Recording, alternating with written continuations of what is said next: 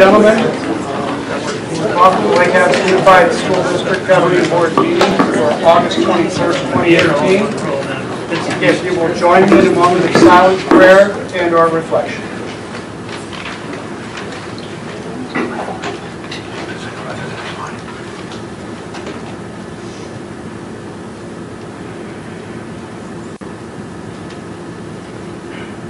You'll stand and join in the pledge. I allegiance to the flag of the United States of America and to the republic for which it stands, one nation under God, indivisible, with liberty and justice for all.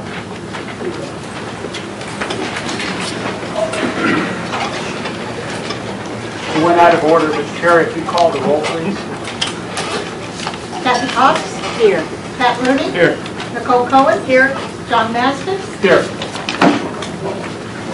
We have call to the public. We'll start with Mr. Hal Christensen. Thank you. Uh, President. The microphone, please.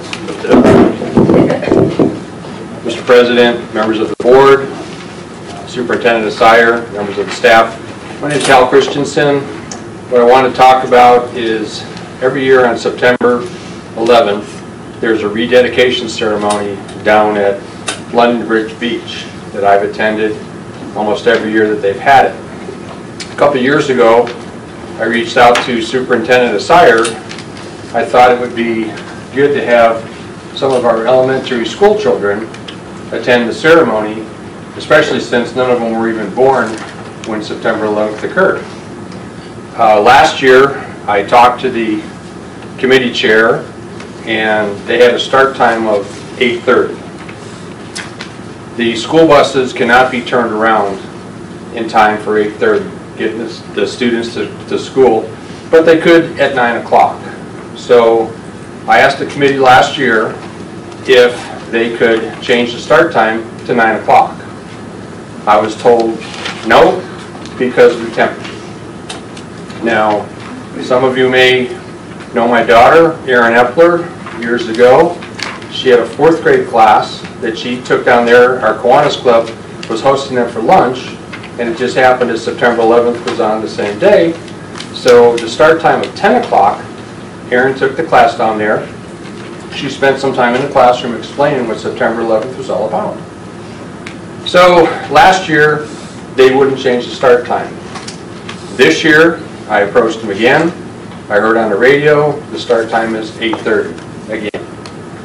Uh, I reached out to Gary Parsons, who is the committee chair, and I reached out to a couple of the Marine Corps League uh, co-sponsors, and one of them uh, has tried to get the start time changed, and they won't change it. Saying, again, it's the weather. Now, with one year exception, I've been there every single year. One time I saw someone have to sit down. Someone else told me they saw someone who fell down and they had an ambulance take them away. Now, for anybody here who has attended this ceremony, there's usually, I'd say, probably 200 to 250 people there. Now, having fifth graders from the six elementary schools attend that, to me, is, would be critically important because it, it's part of our history. And, and I think if you do this every year, it'd be, it's important to me and people I've talked to, teachers and members of the public have said they felt the importance too. So it's too late for this year, they've told me, because all of the publications haven't gone out. But if anybody here uh, agrees with me and would like to contact Gary Parsons uh, after the meeting or during the meeting, I have his phone number with me, and I'd be more than happy to give it to you. Thank you. Next, we have uh, Peterson talking on crowdsourcing.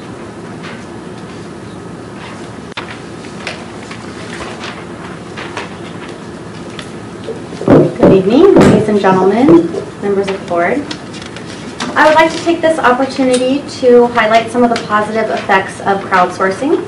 While I understand the concern of the board in regards to crowdsourcing and the message it may or may not be sending to our community, I think it is important to shed some light on how the process is actually working in and for our district.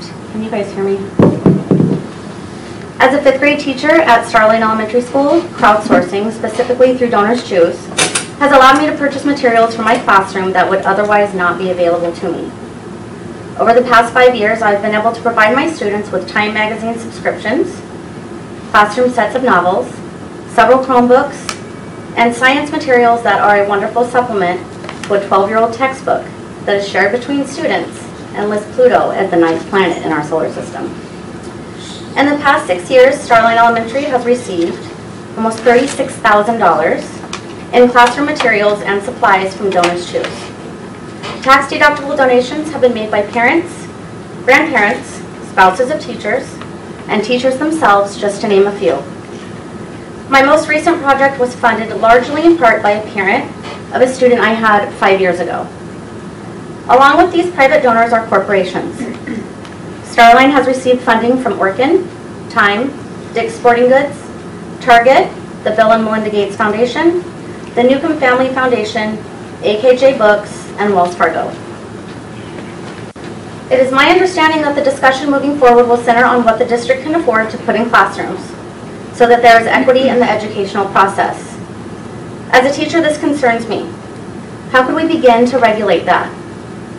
The equity is in the standards that we teach, but there has to be some freedom in the ways that we deliver our instruction. Many of us supplement classroom materials. We either purchase things with our own money or through the generous, voluntary support of donors. We are also really good at sharing. As a parent, I choose to donate to projects proposed by my own children's teachers because I trust that they recognize a need.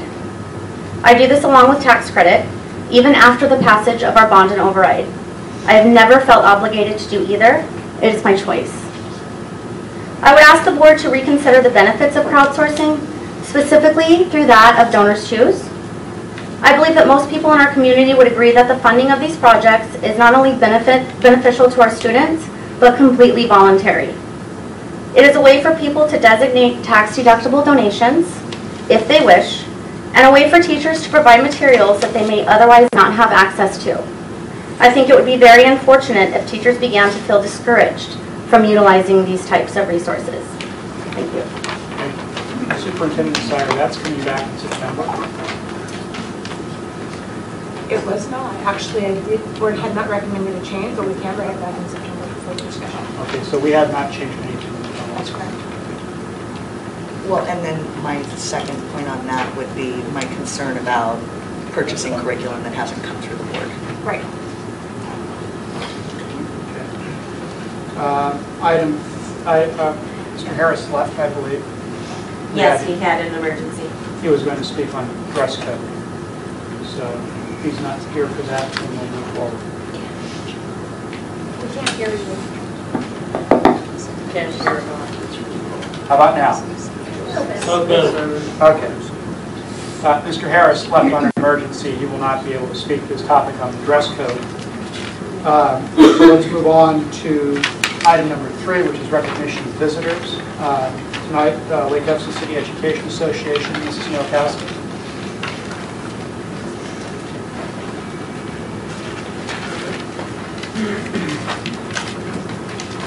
Hi, welcome. I am Carol Nowakowski, the Lake Havasu City Education Association President. And I'm just here to speak to our um, President Masden, board directors, and superintendents, our, our community, our staff, and our students. So just to give you an update of the last month from the last time I spoke was we did new teacher orientation. Um, we got to do luncheon and so we got to meet with all of our new teachers and that was really exciting and getting to introduce them into our school and our, our district. Um, we are really looking forward to all of the new activities that we are about to embrace um, with our school district. Number one, I got to get on the field today. Um, that's it's awesome. And um, then we have Rachel's Challenge coming up. And if you have not heard about Rachel's Challenge, please, please, I urge you on August 27th to be at the Aquatic Center. Um, it is a important and powerful event that uh, we're about ready to change our community in, in every way possible.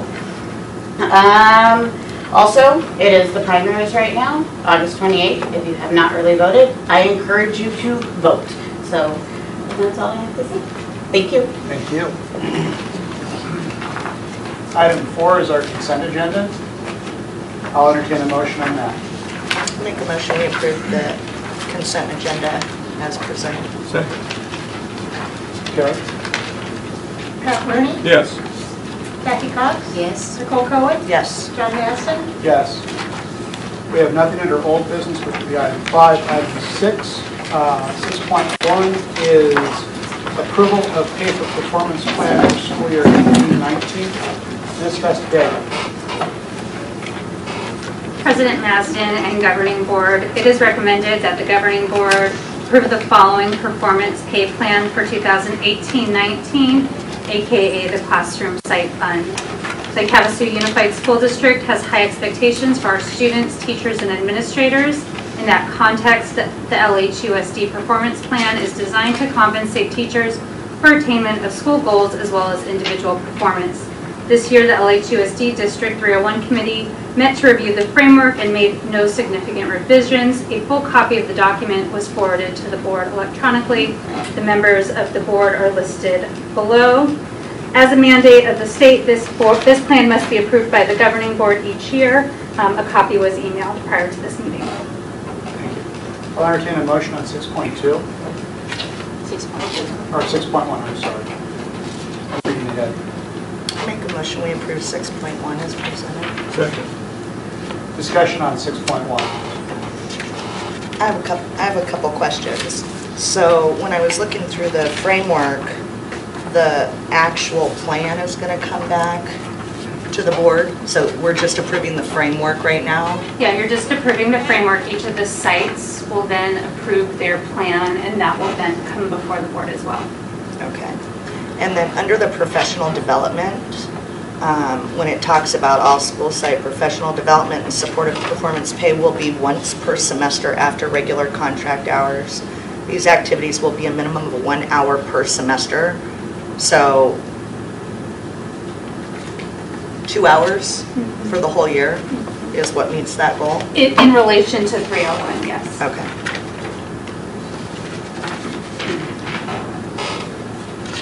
Any other questions on 6.1? Carrie? Kathy Cox, Yes. Nicole Cohen, Yes. Pat Rooney, Yes. John Masden, Yes. Item 6.2 is approval to purchase three school buses. Mr. Murray? Mr. President, members of the board, it is recommended that the governing board approve the purchase of three school buses through Canyon State Bus Sales at an amount not to exceed $575,000, and bond funds will be used to make this purchase. Uh, Quotes for, uh, from Canyon State Bus Sales uh, are attached to the agenda action item for you to review. There's a 84-passenger route bus, 46-passenger activity bus, and a 38-passenger special needs bus. Uh, The pricing includes all requested options, um, tax and delivery. The quotes were made through the Mojave Educational Co-op, and an amount approval of 575,000, of not to exceeding that amount, is requested to cover any incidentals, and this item has been reviewed by purchasing. Okay, I'll entertain a motion on 6.2. I make a motion to approve 6.2 as presented. We have a second. Second. Uh, Questions? Do we have an answer on the route yet?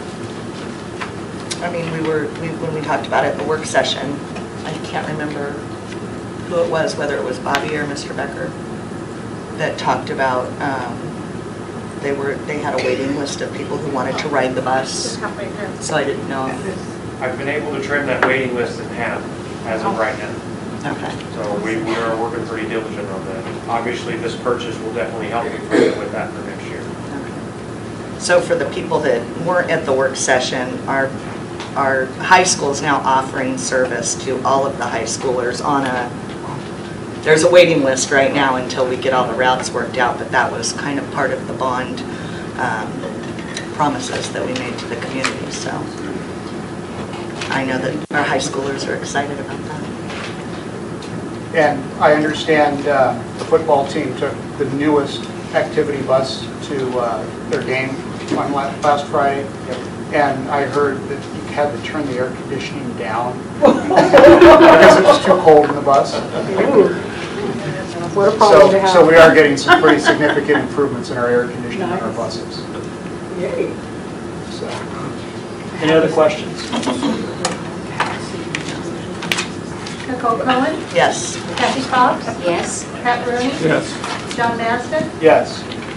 Uh, Item 6.3 is a discussion of possible action regarding proposed Arizona School Board Association political agenda and delegate assembly. Uh, Take that.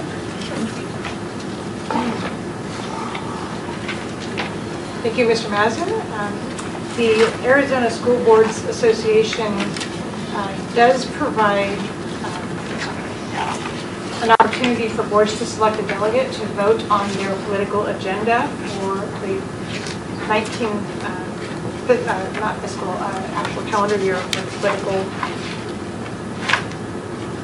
action committee. I'm going to spit it out, so summarizing here.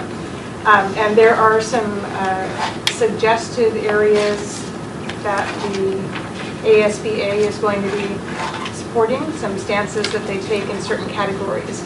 The board did act to send some suggestions on areas of focus for ASBA, and uh, this is an opportunity now to decide if you want to support their proposed agenda and whether you want to identify a delegate to vote at the assembly in um, September.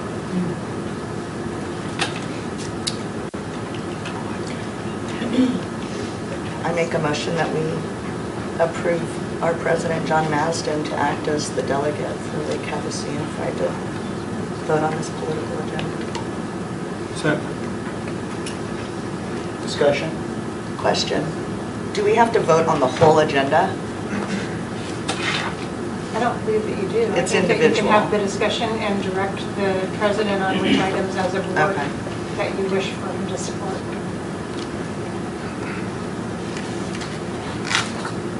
So are we going to discuss that right now? would Well, we to would have to. Yes. The only item which we had discussed a little bit at the school board meeting was a recommendation to in- increase the compulsory attendance age from 16 to 18 years. And that, on, on the face of it, sounds like a really good idea because it keeps kids in school until they're 18. The problem, there's several problems. When a student wants to drop out of school and he's told he has to stay in, um, it, it, um, he doesn't want to be there and it creates other problems. But we brought that up last week. Uh, I started thinking about that and I realized that it's another issue. What would the, if that were to pass by the legislature, what would the enforcement be? How would we enforce that? Would, even if there is a truancy law uh, that the legislature has passed, would we really want to send a, a student to, to jail or his parents to jail or to fine them? I think we would be reluctant to do that. Um, Perhaps not. But uh, the- I I don't see that the enforcement would be realistic, and I don't know of another way to do that. So I think that might be something that you might bring up, uh, but I, I I myself am opposed to that one. I'm, I'm not in favor of it. In fact, we had a board member uh, who left midterm not too long ago that uh, actually did drop out of high school. And uh, went into the Marines, wound up getting his general equivalency degree, and uh, uh, came out all right through the process. So I, I think that there are alternate paths out there still, even if it's not the Marines. Um, And so I, I I think you hit a point in the development of a, of a young person where, male or female, where they just don't want to be in the institution. Uh, And, and so cutting them off and not allowing them to pursue what they think is the right course for them, or their family may think it's not the right course for them. I, I think that does a disservice to, to the overall makeup of the person. And then when they leave on rather good terms, which was their choice to do it, sometimes they actually come back after being out in the real world for a while. We would want to always encourage that. I, I have a young man that I'm slowly showing the real world right now at 17. So there's a lot of them. There are. Would it be helpful if I just went through them and, What, uh, let me ask you, what is our, uh, what- what's our dropout rate? We can't hear you. What's our, Can you turn the volume up on that? Oh, just use those. what's our dropout rate? Do You we know, I don't- have that? we, I don't have it right in front of me, we just looked that up. and- Dropout rate is 3%.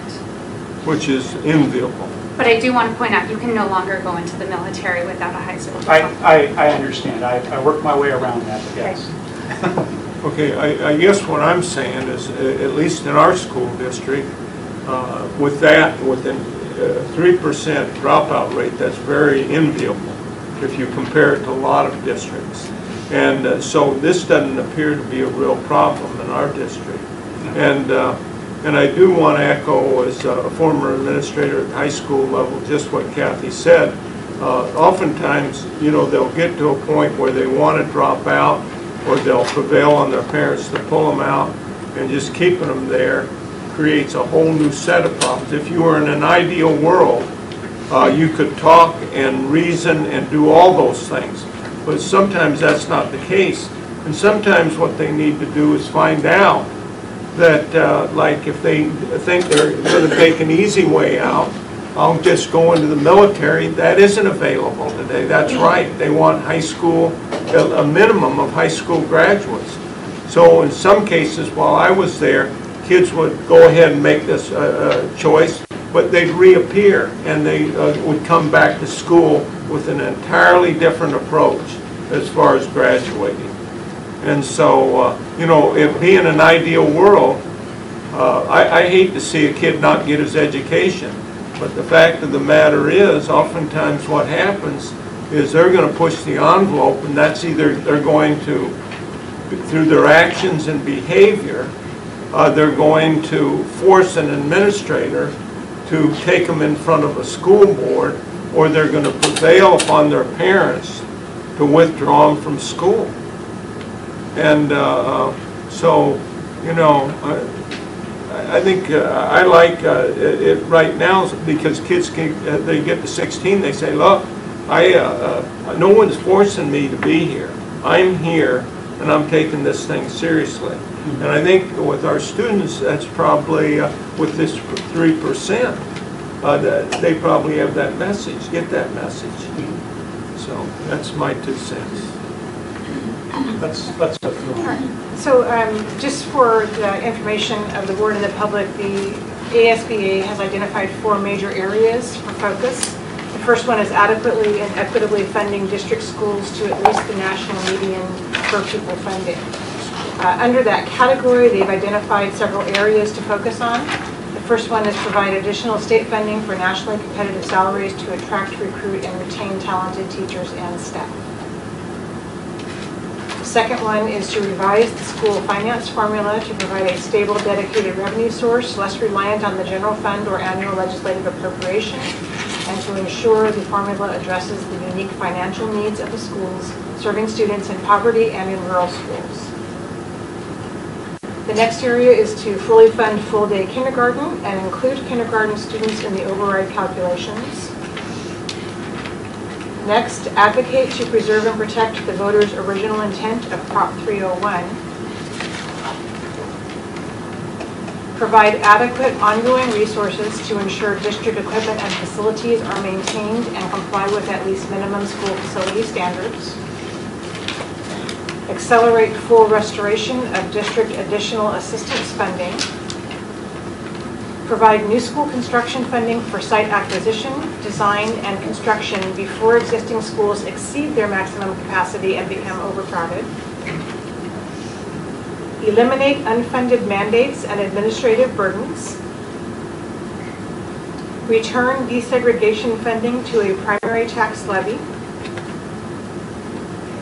Conduct an, an exceptional student services cost study to provide greater equity in funding and access for exceptional student services within the public school system.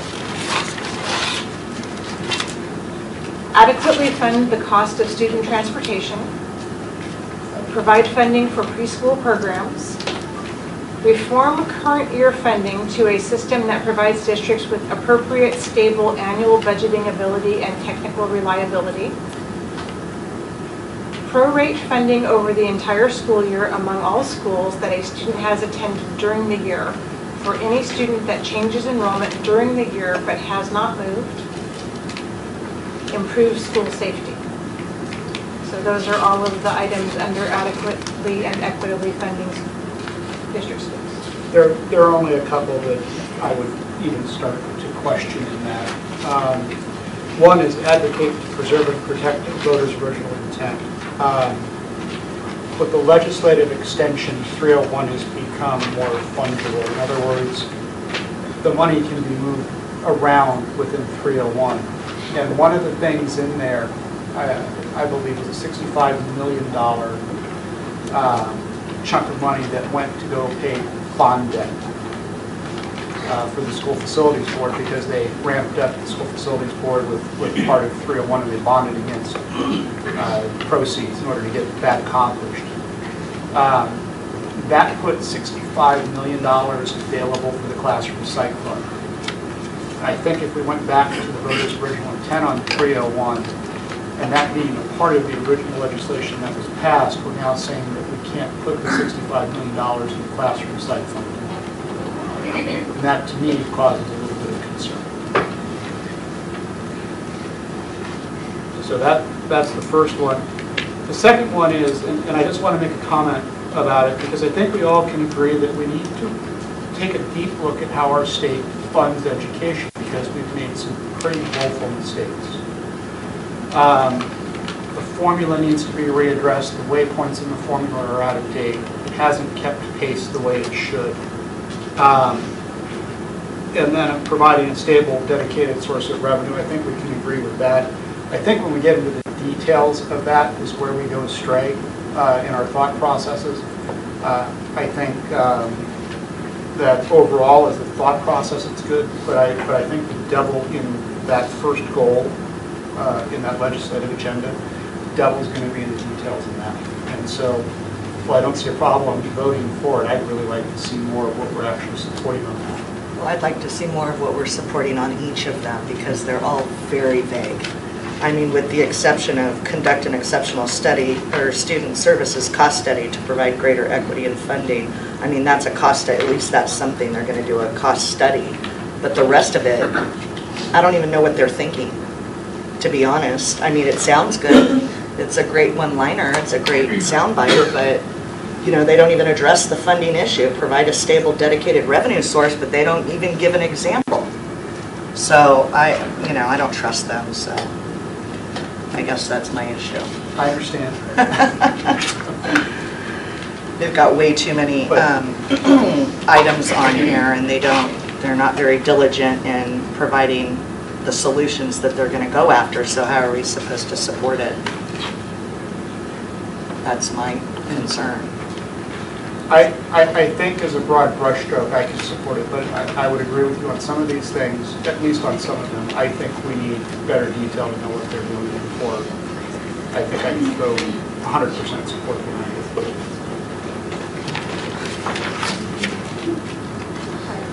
The next section is to preserve and strengthen local control. The categories here are maximize local control and flexibility in managing funds and programs.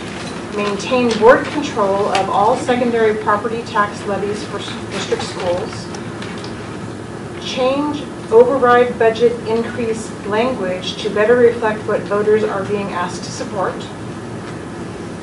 allow school districts greater flexibility in, the- in the divestiture or use of taxpayer-funded assets. Preserve elected governing boards as the final authority in selecting qualified vendors to provide products or services to school districts. Allow districts the option to operate individual schools for 200-day years and increase accompanying funding oppose legislative intrusion on school site budgeting decisions, maintain exclusive local authority over any measure that would propose to consolidate and/or unify any number of school districts into a larger school district.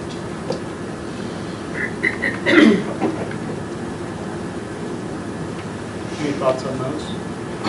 The only one I really am concerned about, I, that's my, this is my favorite o- overarching one of all of them, but change override and budget increase language to better reflect what voters are being asked to support.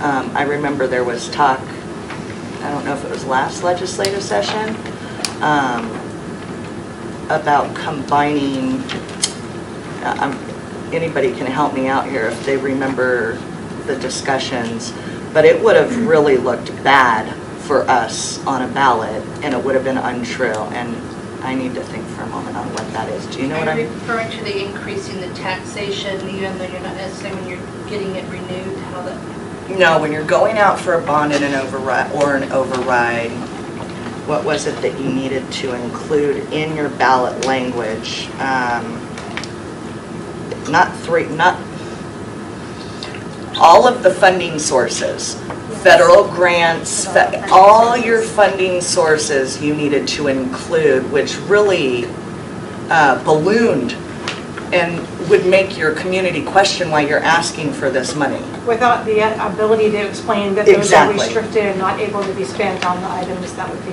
Right. funded Right. through the override. Right, so that's a concern for me, because I, if I'm not mistaken, ASBA was advocating on behalf of that language. So, The one I'm happy to see is, is the exclusive local authority one, the very last one. Um, One of our legislative District 5 reps, uh, last legislative session was advocating for the roll-up of pretty much every district in Mohave County to one master district. And counting how much administrative pay and, and so on you would save in doing that. The Problem with it is, is you took, you would take the decisions out of a locally elected board from the city and you would put it under county level control. And uh, in fact, if I remember the thread, they were pointing out who made what in the administrative branches of of each city. Um, So I'm happy to see that as, as one of the measures because it's our tax money. It's Lake Havasu's tax money. And we should have, whether we, whether we 100% always agree with each other or not, we should have the ability to decide where our tax money goes through our representation. Improve outcomes for all students is the next category, and you already discussed increase the compulsory, increase the compulsory attendance age from 16 to 18 years. The next item is enact research-based reform of the English language learner model of instruction to improve student achievement that does not segregate English language learners from English-speaking peers, integrates reading, writing, and oral language instruction, and incorporates multiple assessment measures to demonstrate English proficiency. Fully restore ninth grade CTE JTED eligibility and funding to allow students to explore career fields and/or certification completion. Allow JTEDs to serve students through age 21 regardless of graduation status. Support policy that recognizes and respects teaching as a profession. Testing and accountability measures should be used only to drive instructional improvement. Support policy that protects school district employees and students from discrimination based on sexual orientation and gender identity. And those are the ones under that category.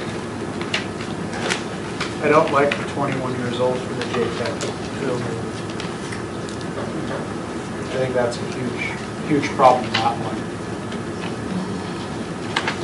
English language learner, uh, changing that model, is is that going to more of an immersion, do you think? or- Well, the, the thing about that is, I, I would like that to improve and include a statement about local control, because you have to look at every student individually, and to say that uh, a student who speaks no English, understands no English, can read no English, um, that particular student might do well in an immersion program with other students, but he might not. But without the, the latitude for the school to make the best decision for the student, I think uh, it's always good to come back to uh, local control. I, I don't disagree with that. And- And I would tell you, I've, I've got a special needs daughter uh, who's starting to be mainstreamed into um, uh, some regular classes, which is kind of cool,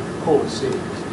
Um, But the reason why is because she's now hit a point in her development where it's appropriate to start this in certain subjects.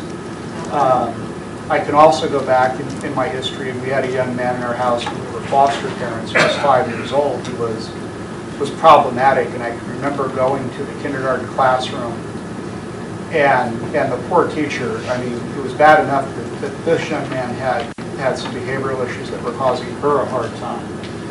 But she had a couple of English language learners in the class in kindergarten, and chaos. I mean, they were just all over the place. So I, I can, I can see a very good argument for local control. I think you're right. And there is one line in there that says the applicant allowing flexibility. Okay. So that may be the,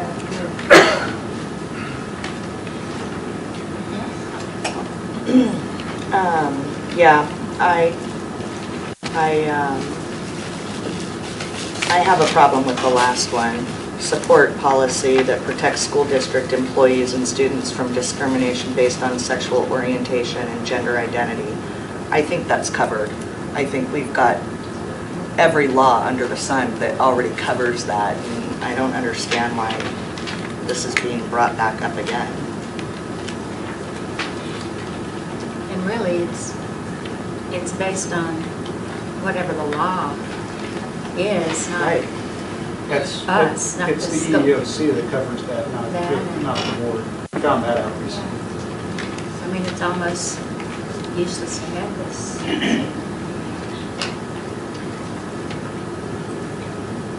all right, the final category is require public accountability for taxpayer dollars spent on education.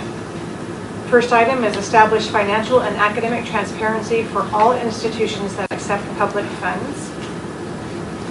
Second item, repeal any program that gives public funds for private schools, vouchers, also known as empowerment scholarship accounts, and private school subsidies, student tuition organizations, and prevent any future expansion. Require comparative classroom spending audits for school districts and all other institutions that accept public funds, and define classroom spending as both instructional spending and student support spending. And finally, require consistency in the recusal of a board member from a decision in which the member of the, the member or the member's employer stands to benefit financially.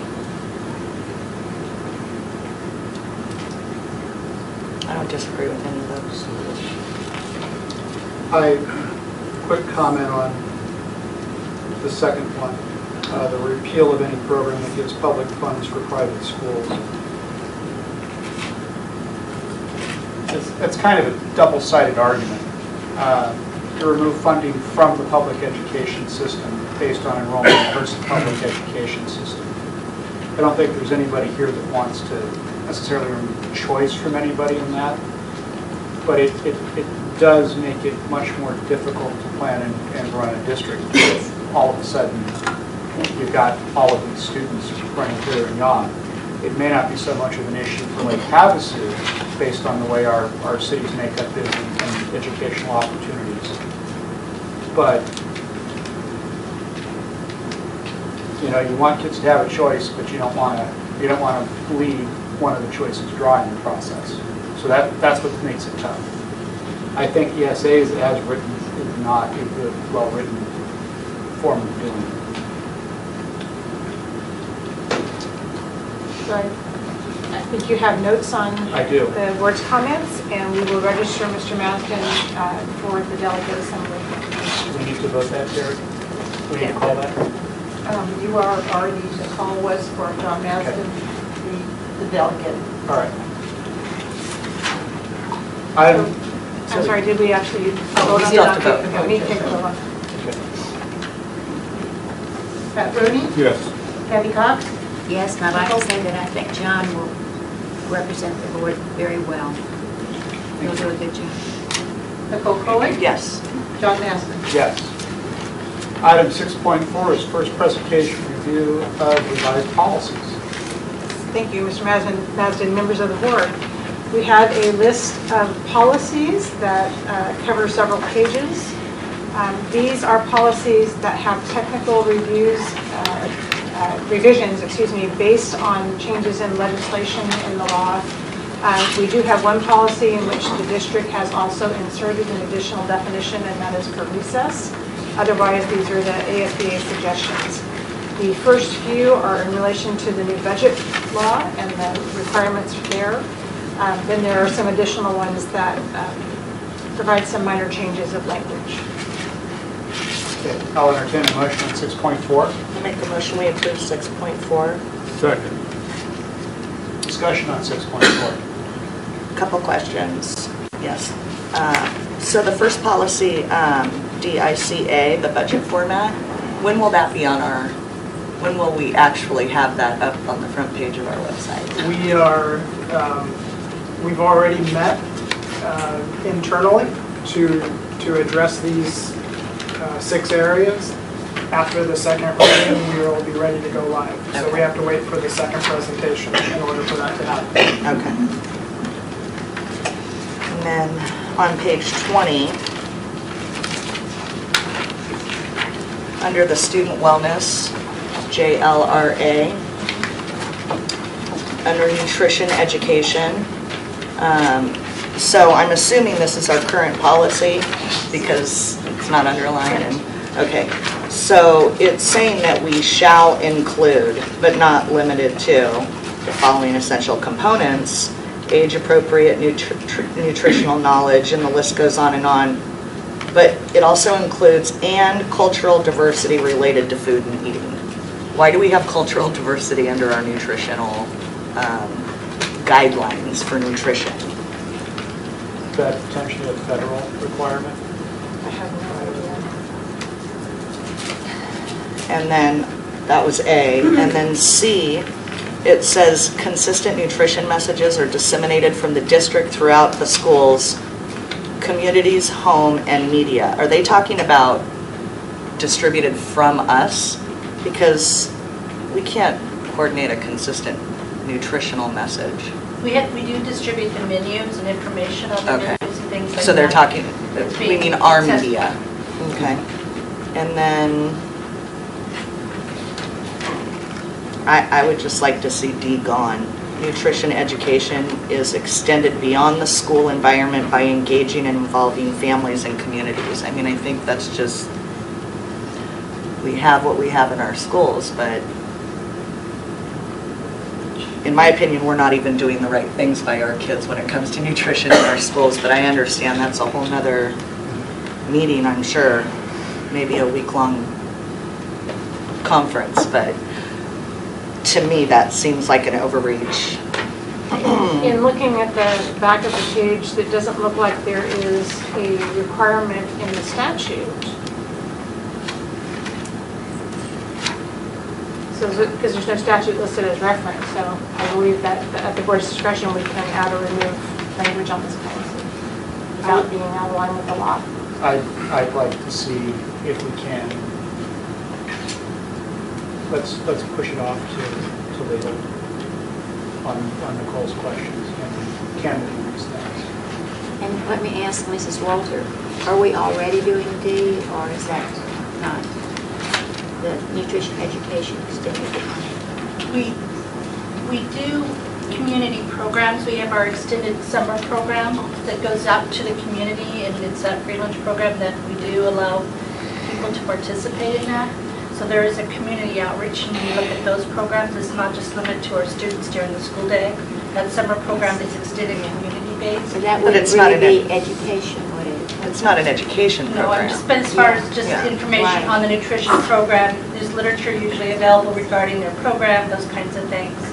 Um, We used to have a nutrition grant, but I don't believe we currently have that, so it's no longer in place.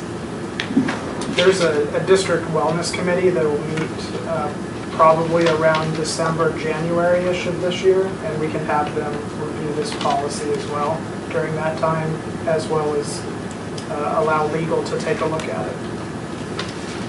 And then my last question was, under the, well, it's on the top of 22, only food prepared or obtained by the district's food services programs can be served on our, in our Should be. campuses. So it Should be served? Should, it says should. Should be served. Should be served, okay.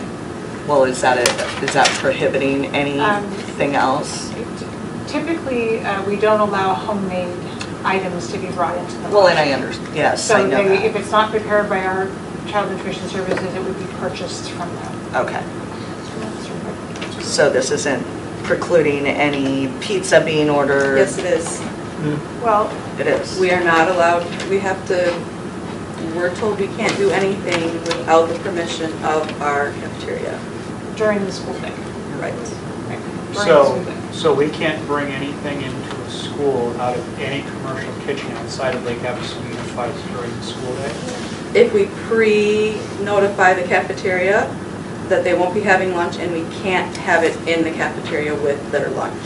That's correct. And the reason behind that is so that they can make sure that their food preparation counts are somewhat uh, in line, so they're not, they're not preparing for 300 kids. Right. And then, so it's half the, half the classes are having pizza parties that day. But So we're it's not- restricted to eat it in our classroom. So, so it's not you can't, it's you have to have proper notification.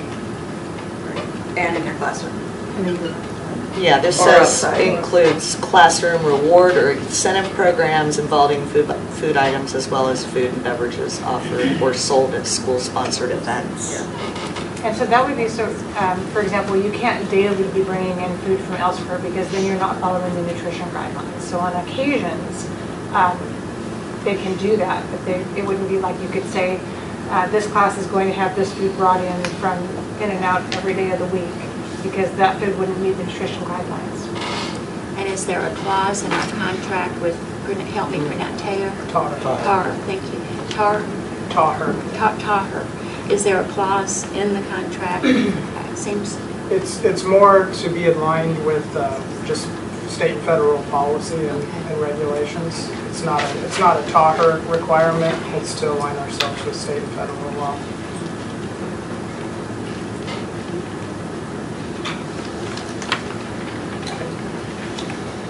Any other questions on 6.4? Hearing none, I'll ask her to call the vote. Kathy Cox? were you going to go over JL, JLD? Well, we're just doing the questions on the policy. Okay. We've got the motion and the entire package. Okay, okay, yes. Nicole Collins? No. Pat Rooney? Yes. John Masden? Yes. And just, just for clarification, the change on JLRD was to, was to define recess, uh, which is a period of time during the regular school day, including time before or after scheduled lunch period, during which a pupil is able to engage in physical activity or social interaction with other pupils. So, recess. And that is the definition out of the statute. Um, Item 6.5 is adoption of policy exhibit AD-E, district philosophy, doctrines and definitions. Uh, Superintendent Asseier. Thank you.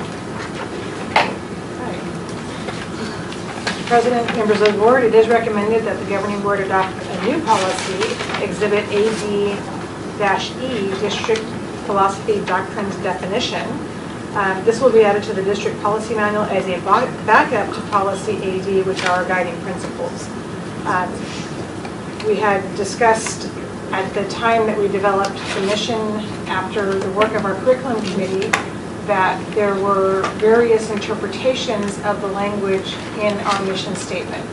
And so uh, the board had a special session, a work session, to go through and look at the definitions of those words.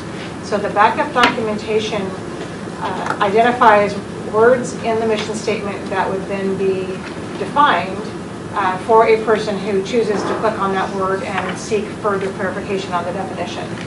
Uh, I do have the, the uh, I believe the uh, direction from the board from our work session that we should remove the word doctrines from this. So for second reading, that would uh, be removed.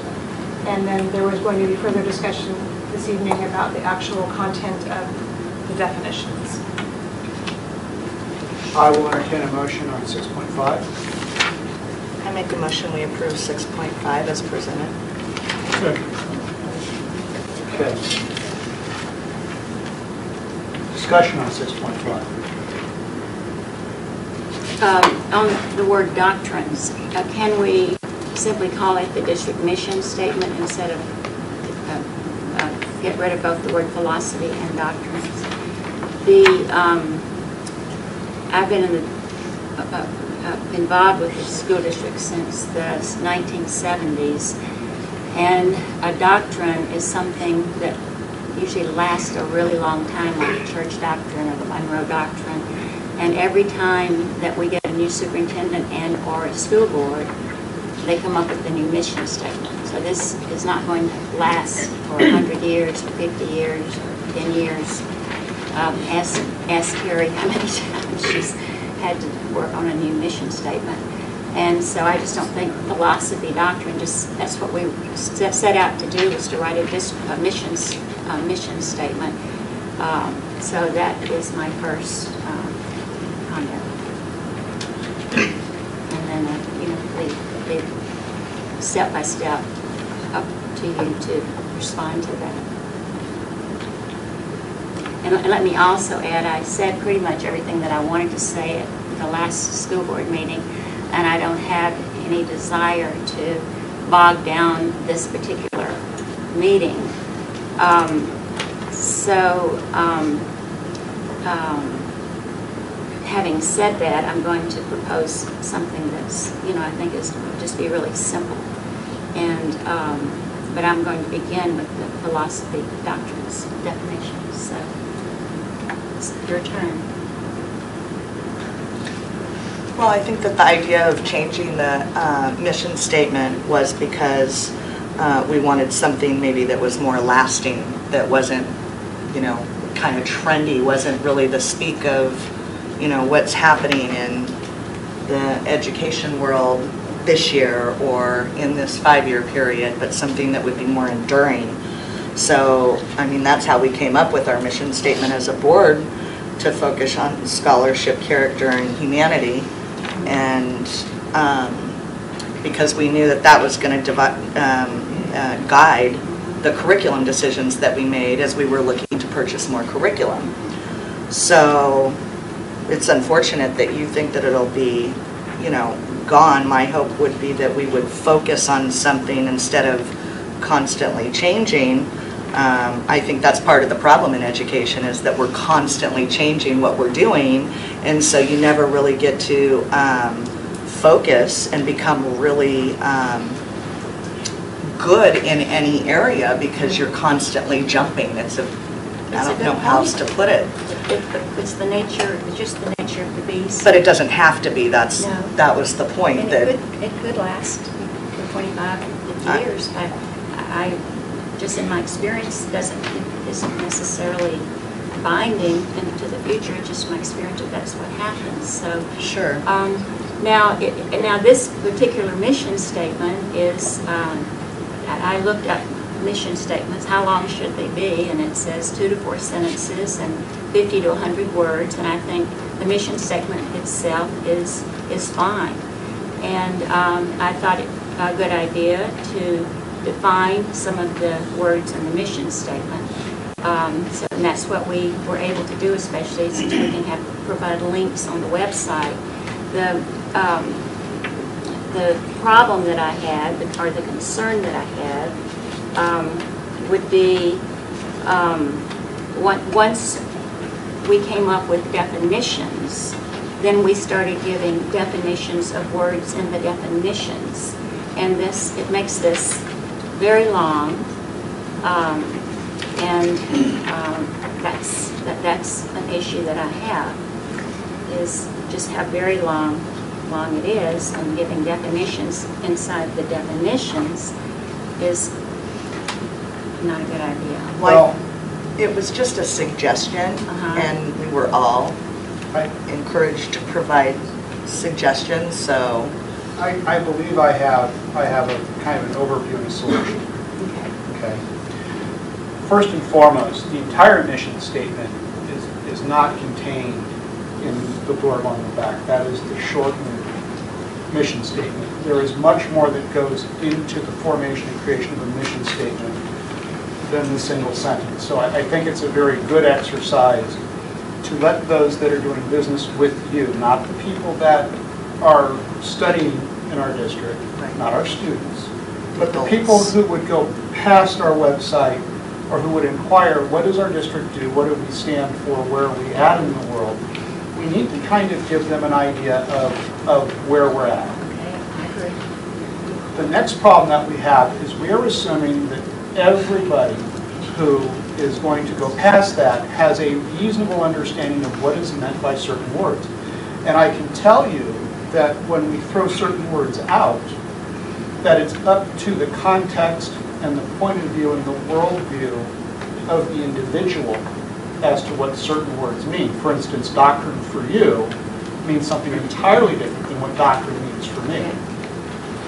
Um, So as we get into words and the meanings of words and and the minutia of it, I, I think it's, it's important to, to find a level where we're all comfortable defining things. Now, one of the areas that you were really kind of, I don't know, um, uh, concerned about was when we got to like, like the right to life, liberty, property, and the pursuit of happiness. Um, I can tell you why I like that. And if we go back to someone like, say, John Locke, if you go to the Second Treatise on Government, and you go into chapter five, there's a really great example that he gives, okay? And, and we gotta remember this happened back in, in the, in the late 1600s. And so as, as Locke gives the example, he's walking down a path in a forest, and he comes upon an apple tree. And in, in the natural back then, the apple tree would have been owned by the creator, but for our purposes here, the apple tree is an undeeded, unowned land by any entity, foreign or domestic. And you reach up and you grab the apple, you take the apple off the tree. And the question becomes at that point, who owns that apple? Well, you do, is the way Locke would have answered that, because your labor harvested the apple, therefore it is your apple. And as we harvest more apples and we get more apples than we can consume, then we get into trade and and barter and currency and all sorts of things. So when I look at the word property, I look at the word property meaning the fruits of my labor, whether it's my intellectual labor or my physical labor, and my right to pursue that property based on that definition. So when I look at the right to life, liberty, property, and the pursuit of happiness, I look at that word property and I see that it's very, very important, and there are very good reasons why they left, left that out, and went to Locke's later one, I think it was in 1698, where he came up with the pursuit of happiness, which is a much broader, more encompassing term.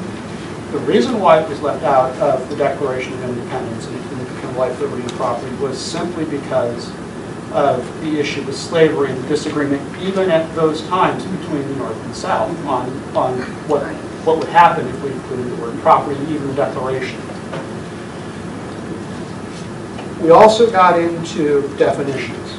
And Okay, can, can we, I don't, want- I don't want to interrupt you. because No, no, you're go- doing A great job, I just, I just want to clarify my objection to, it says, quote, "life, liberty, property, and the pursuit of Mhm. happiness," seems to indicate that that's actually a quotation from a document. and Well, and- and- Property's not in the Declaration of Independence. But it's in, it's in the founding, it's in the founder's thought processes because that was the quote from Locke. So we can either take the quote from Locke and then move the pursuit of happiness into a separate bracketed quote, or we can move property into a separate bracketed quote. But, but both, I think, are important to have in there because there is a clarification that pursuit of happiness actually encompasses property. Well, let me clarify something there, okay? The the dec- the Declaration is not a legal document, it's a declaration. The Constitution Well, let's go there. is a a legal Let's go there. okay? Okay? Because, because the other assertion that we had in, in the work session was that there was no right to property. In other words, there is no right to the, to, to the fruit of your labor. Right to property mentioned in the Constitution. it's is all through it though. It's, it's actually all through it, and forgive me for using notes because it's in there a lot of times. Um, let's see. Accordingly, they require that direct taxes, most importantly, property and income taxes, be apportioned among the states. Taxes come from property. They do? That's in Article 1, Section 2, Clause 3, and Article 1, Section 9, Clause 4. They also require that indirect taxes such as import duties be leveled uniformly, which is in 181 and 196. They flatly denied Congress power to tax exports in 195. Right there, in that one little example, is the start of where the Constitution starts to deal with property. They empowered Congress to protect intellectual property and authorized copyright and patent laws in 188. They do. They granted Congress the authority to punish piracy. Okay. That's 1810. They denied Congress and the states authority to pass ex, ex post facto laws, Okay. a ban that some founders thought would protect property. So the concept is there, and after the Constitution was ratified, it has been developed. Uh, Well, I thought you were a strict constructionalist, isn't that what you said? Yes, but the the right to property as a statement is not in the Constitution the way your uh, right to voice your opinion is. Those kinds of rights. When we, the word right specifies something But you, but you go back to Locke, and you have to understand that, that property and liberty are intertwined. They were so, at that time, so intertwined that this was, this was not even, even a thought to include it in the Gates document. It goes all the way through it. Well, They even created a currency system, which again governs what we use today to account for the work that we do, the toil that we have in our intellectual property. let it not be said that I am against property. I But- I like my property, But- I'm but- protecting it, but I just put but can I- clarification for students. This isn't for students, this is for the public. Well, for, for the public, for everybody, and for students as well. I, can I, can I, can I put one more point in there before we, Sure. before we move forward? The other thing that I, that I think you don't understand is, is when we get into inalienable rights, and, and self-defense is an inalienable right, that's why we have the Second Amendment. Or freedom of speech is an inalienable right, it's protected. Why are, if we, if we start talking about negative rights, and negative rights are rights that the state may not touch. When we start talking about negative rights, why wouldn't property be a negative right, and why in the Constitution the founders so painstakingly go through this, article by article, and put protections in on something that is not a negative right? Can you explain that to me? Because I believe it is based on what I see in here. Well, John, I- the simple thing is you've got quotations, life, liberty, property, and the pursuit of happiness. Take out property, that's one of the, that, that, those words, life, liberty, and the pursuit of happiness are one of the most important quotations from our history. And You have to, it's in quotations, it's from the Declaration. Property's just not in that line. If you, you mentioned a little while ago, you want to take property out and write it in some other way that it is, it, the concept of it or the beginnings of it, the, the right to property is, is, is, is something, however you want to write it, but it just doesn't go in that phrase. So we could, we could move it down another line and say the right to the fruits of your labor. Yes? I, I- I think most people would understand, and, and, and I agree with Kathy, you can't all of a sudden put in a word in a quote and say that's part of the quote. So it, it's a well-known quote, the right to life, liberty, and the pursuit of happiness.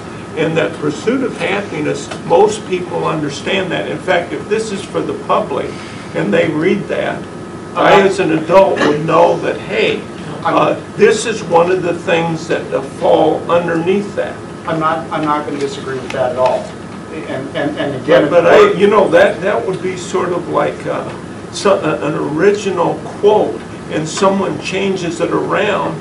I mean, you'd catch all types of heck in the academic circles on TV and everything else. So I, I support Kathy in that if, if, if you're gonna go with that quote and have it in quotations, It's the right to life, liberty, and the pursuit of happiness. And, and again, when we talked about this at the work session, I didn't disagree with, with the fact that we should fix it so that the quote is correct. Where I had my disagreement was, was when I was told that there was not a right to property. And that was said at the work session. And, and, and there absolutely is. It, it it is an irrefutable fact that our founding that that was a, a, a right and it was something that is interwoven into our Constitution, into our founding documents. And that's understood. I mean, if you follow history, as soon as the, the uh, people got here, even prior to the, the Articles of Confederation or the Declaration of Independence or the Constitution, the people owned property. That's why a lot of them were coming to the U.S., more opportunities, you know, and all the other uh, freedoms that they got. But people had property. So, and I think that the founding fathers understood that, that pursuit of happiness includes that, it's all encompassing. And, and it includes the issue of property. And, and, and yet, we're here talking about whether or not we should have some reference to, to, to property, and property ownership to further explain this to the public that, that we serve. Um, The other problem that we got into was on definitions. Yeah. My recommendation, and I brought you a listing from that, is there is a website for Black's Law Dictionary. I believe that if we took each one of the listed ones and we marked them so that they went to Black's Law for the definition, as opposed to having our own, I think that should solve that. I, I think the discussion was there when you got down to the issue of liberty and we went beyond uh, uh, democracy and we start focusing on these other isms. Uh, I did spend some time up at the high school today with both a free enterprise teacher and a civics teacher, and I'm satisfied that those things are being well covered in U.S. history, free enterprise, and civics. In fact, I did look at the free enterprise book, and, and they were uh, dealing with a lot of those things, so I don't know why we're, we're uh, with, I'd rather focus on our system, uh, what we're offering the public, rather than explain to the public what Marxism, fascism, anarchy is. They're already getting that.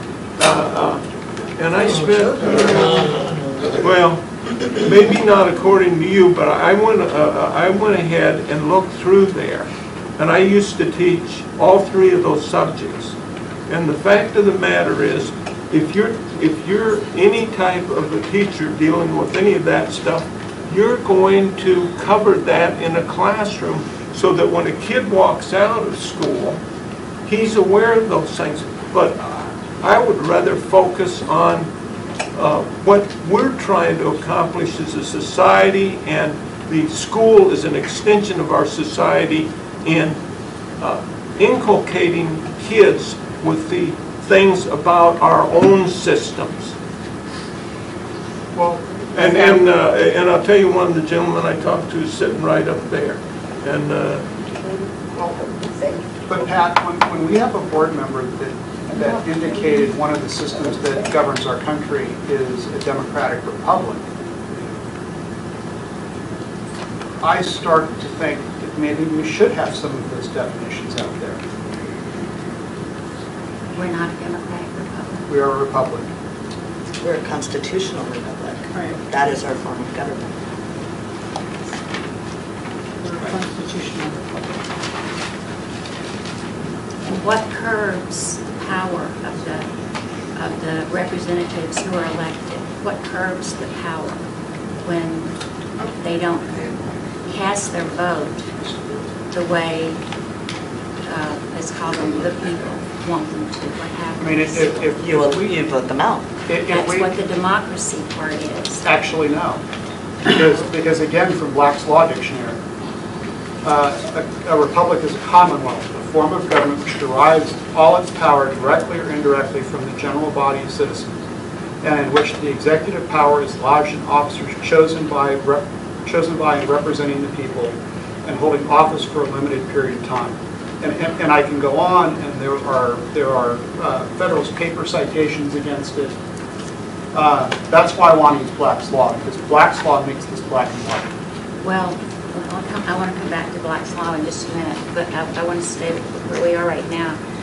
One of the things that concerned me when you listed, uh, you have liberty, freedom, republic, republic, rule by law and representation. Then the next word is democracy, and the connotation there is, is, uh, is bad.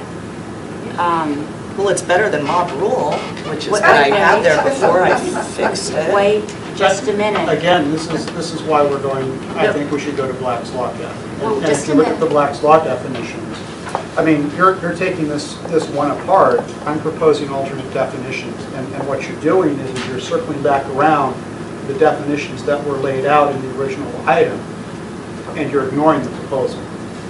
Well, the word democracy, unfortunately, if you have your TV on, you will hear it a hundred times a day. Unfortunately, people use it as a synonym, uh, whether they're talking about our representative form of government or whether they're talking about people getting to vote. That's the reality. Language changes, words change. And I would never want our students to think that a democracy, uh, democracies can lead to excess. Democracies can lead to mob rule. But uh, so far, uh, we were all brought up thinking that democracies were, were good until now, and we have someone who's clarified that for us. So now we know that they're not as good as we used to think. I would not want our students to think the word democracy had a, a, a negative uh, uh, from the school board that it was something negative. I, I just, I cannot vote for that, of course. Any, any word here can go to an excess. I mean, To talk about our republic and our representatives talking, let's talk about our, our representatives in Congress. Let's talk about uh, revolving door lobbying.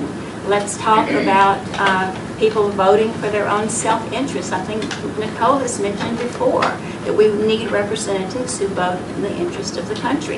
Everything here, including the word republic. I don't know that I ever said that. Well, you, you, you made a comment about, uh, about uh, People voting in their own self-interest, absolutely. Bipartisan no, betrayal, well, both if- parties, if you- absolutely. If you vote, if you own a company and you're a representative and you vote, that, that- that's the, who is it? The head of our state senate owns a charter school and he votes for, uh, uh, he votes for charter schools. He should be recusing himself. Our representatives also, they're not perfect. And, and I- I- because they're not perfect, we're a republic.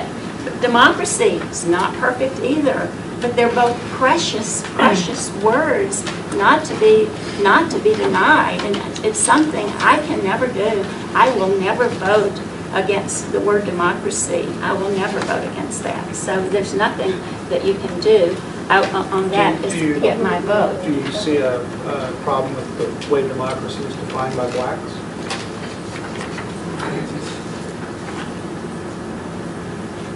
A form of government in which the sovereign power resides in and is exercised by the whole body of free citizens as distinguished from a monarchy, aristocracy, or oligarchy. According to the theory of a pure democracy, every citizen should participate directly in the business of governing, and of course, we're not a pure democracy, and the legislative assembly should comprise the whole people. But but the ultimate lodgment of the sovereignty being the distinguishing feature the ultimate lodge, lodgment of the sovereignty being the distinguishing feature. The introduction of the representative system does not remove a government from this type. However, a government of the latter kind is sometimes specifically referred to as a representative democracy or um, a uh, representative, let's see, a democratic uh, republic. Uh, One or the other, they're both used synonymously. Well, I would point you to several examples of, of places that call themselves democratic republics. Uh, Venezuela would be one. Well, just because it calls itself one doesn't mean that it is. The. Congo would be another. Well, again, because it calls itself one. North Korea would be another. The, how about the Union of, of, of, uh, what is, what is uh, North Korea? What does it call itself? Democratic Republic of North Korea. Everyone knows it's not. Well, and it's, it's none of the above. It's Well, I just mean- North Korea, is really the only applicable thing in that entire title. And, and, but, but, but that's kind of my point to you, is, is that words mean things. And as we, as we use these words and as we put these labels on what we are as a country, and as we use other examples to differentiate ourselves from other forms of government, as we define what it is to be a responsible citizen within our country, these words have absolute meaning back to the public, to where the district is and, and and what its thought processes are in, in producing the mission statement.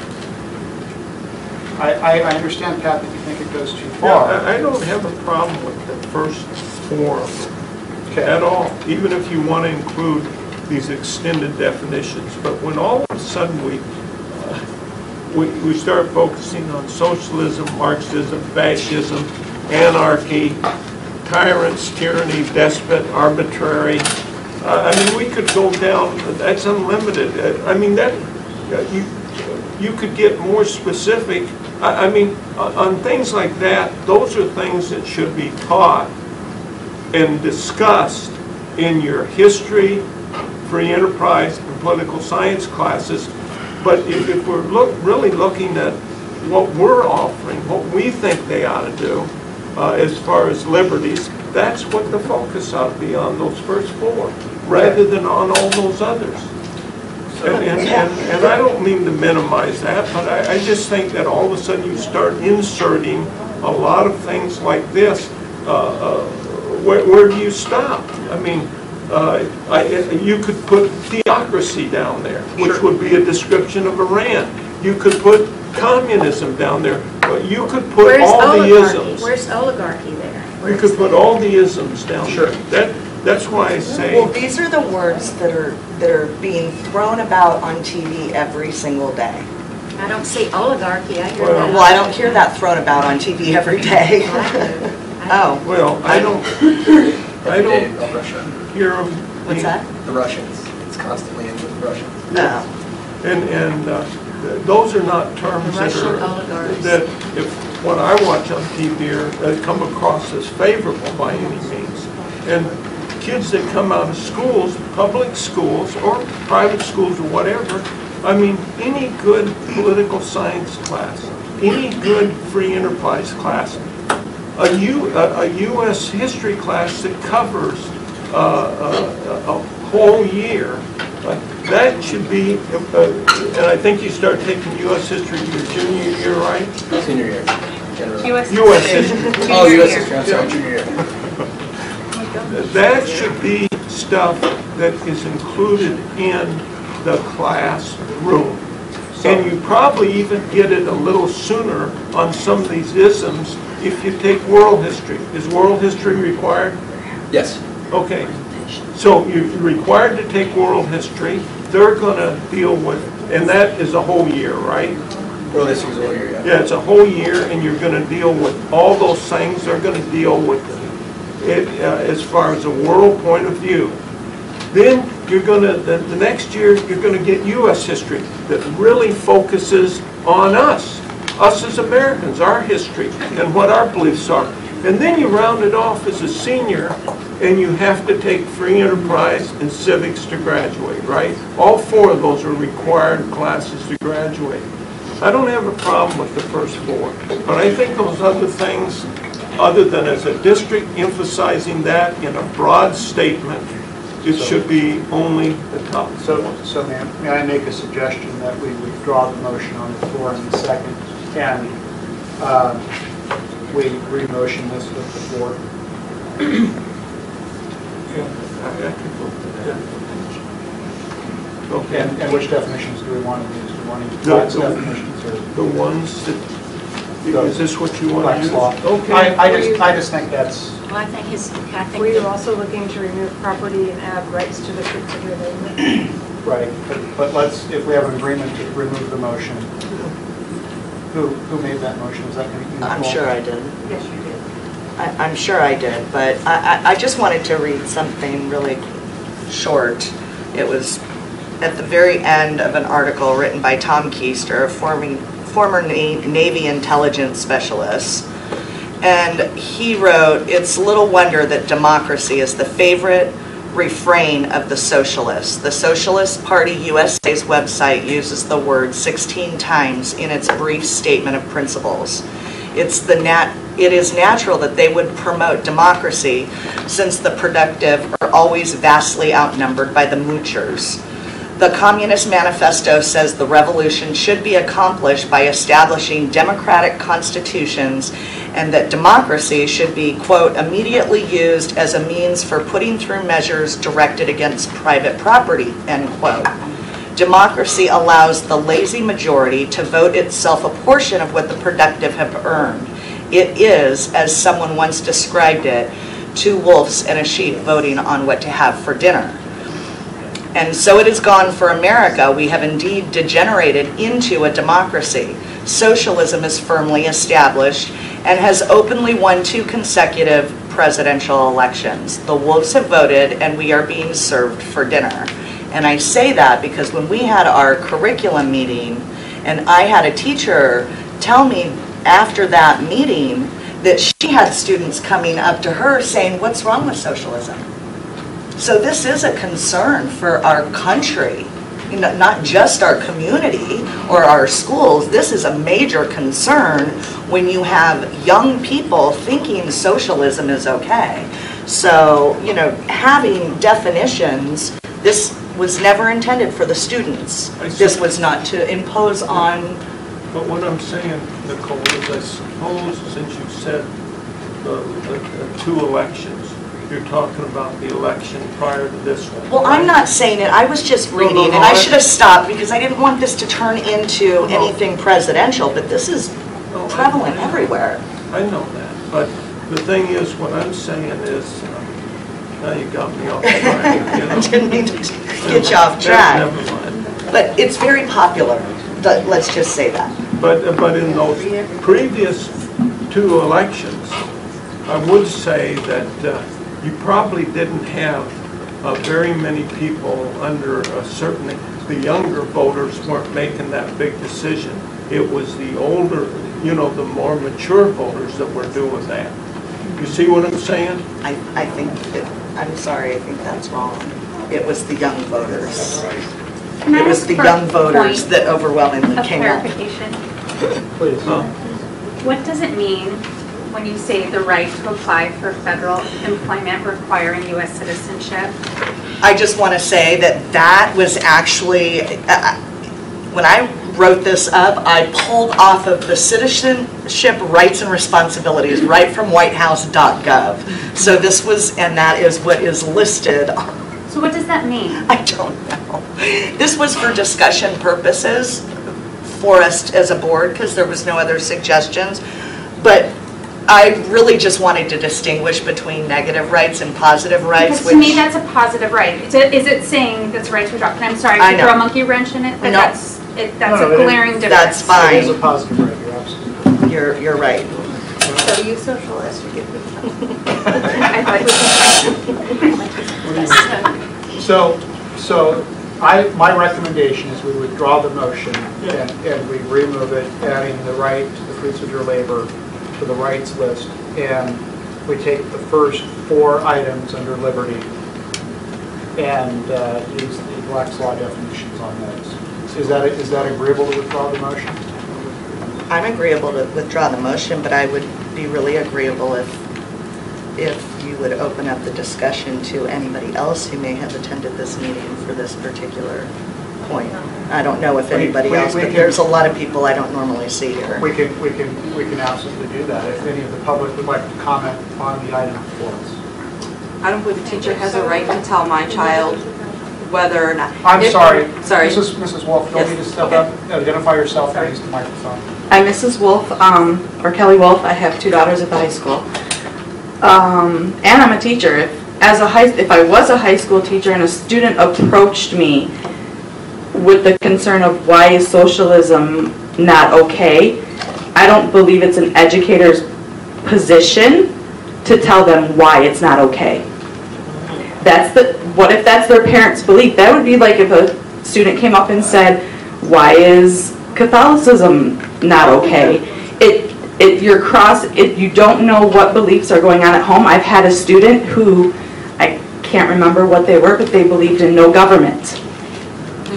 I have to respect that as a student and make sure, so anything we did on um, Veterans Day or any of those things, I had to come up with alternative assignments for him because they would not allow him to do anything that dealt with government.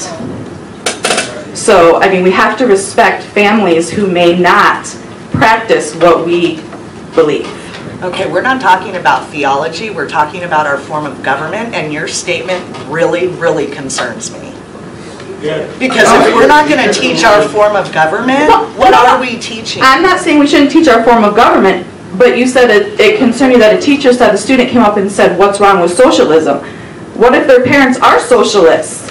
That's their family and their household's choice. So to, if you want to figure out a definite, you know. Correct, and we are not allowed to give our personal This is We're not opinions. teaching, ah, but our public, folks, we- she has the floor, so as she's finished, we can have somebody else go to the mic, please. I, I guess maybe I'm misunderstanding as a teacher. We're told we are not allowed to enforce our political beliefs or our religious beliefs into our classroom. So if a student asks why something isn't okay, I can't answer that question. We can teach the generalized of all those things, which I believe should happen, but I don't think we should impose our beliefs on them if they have a specific question that needs to be directed at home. Okay. Thank you. Anybody else wish to address the board on this? I'll get up and do it. You need to state your name for the record, please. My name is Sharon Walper, and I believe this is an American country. We have American school books, although they've been per- perverted with Common Core in perverting the true history of our country. We need to stop it. You want to save our schools and our children? Teach them the old-fashioned way. Teach them the true history, not this baloney of socialism and all that stuff. This is an American country. If you want to believe in communism, Marxism, socialism, that's your business, but not in my school. Amen. Go on.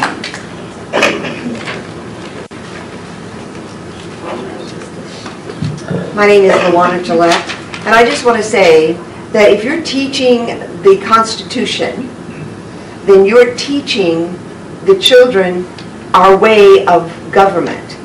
And if you're teaching about communism, then you're teaching them what communism is. It doesn't mean that um, you have to say that it's wrong or it's right. Teach them what it is. They'll figure out that it's wrong. But we need to teach them our Constitution. We need to teach them our Bill of Rights. We need to teach our children about our government. I get sick when I see on TV these people that go to colleges and ask these kids, they don't know who the president is, they don't know who the vice president is, they don't know anything about the Bill of Rights, they don't know anything about our Constitution, and they have gone through our school system and gotten all the way to college, and they know jack. Thank you. Right.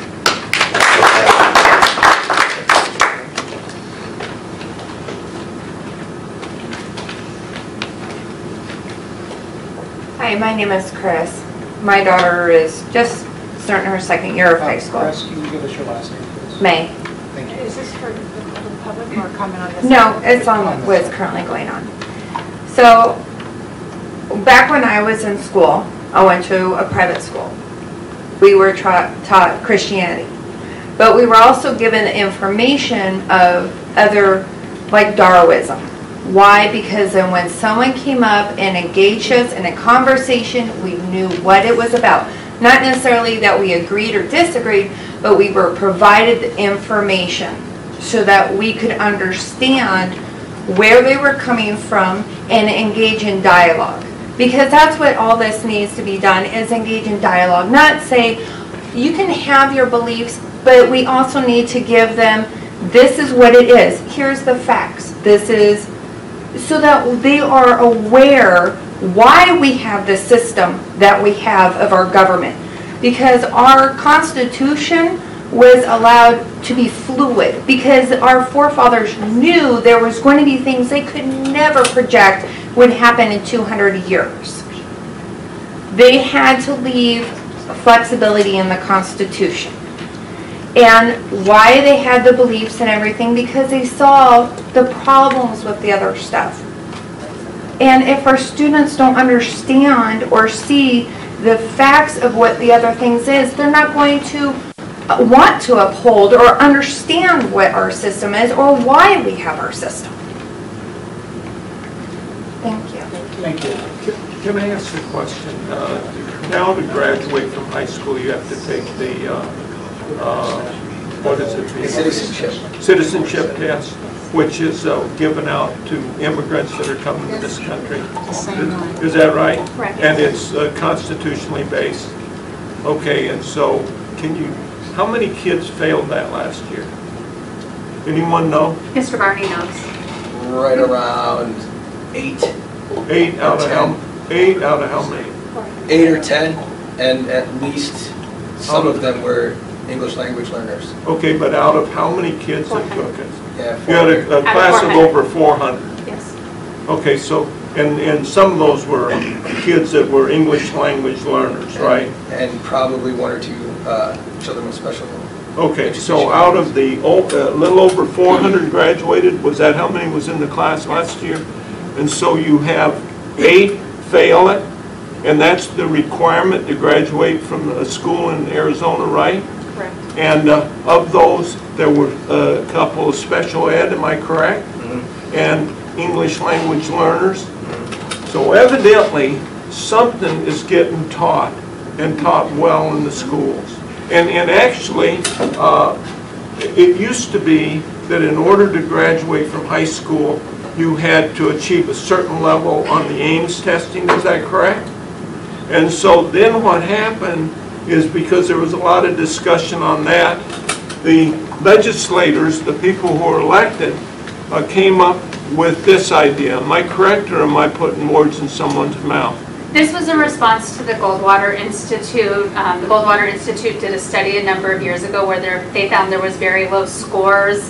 Um, I don't know if I agree with the study, but this was Doug Ducey's response. And Yes. so um, they instituted the test, and what they found is when the kids have a, um, uh, because people respond to incentives, so when the kids had an incentive to pass, they passed.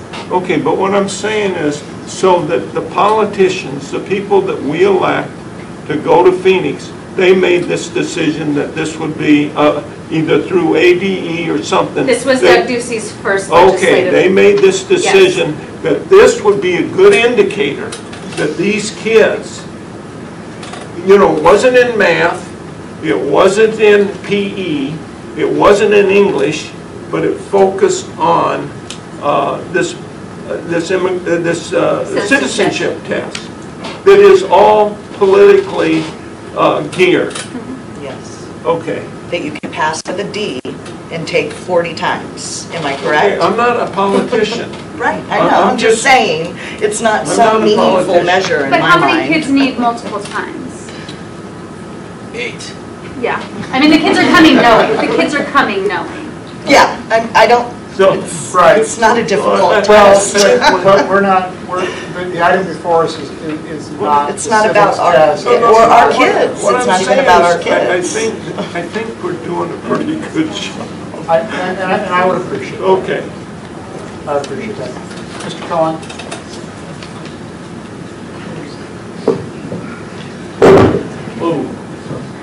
My name is Wayne Cohen.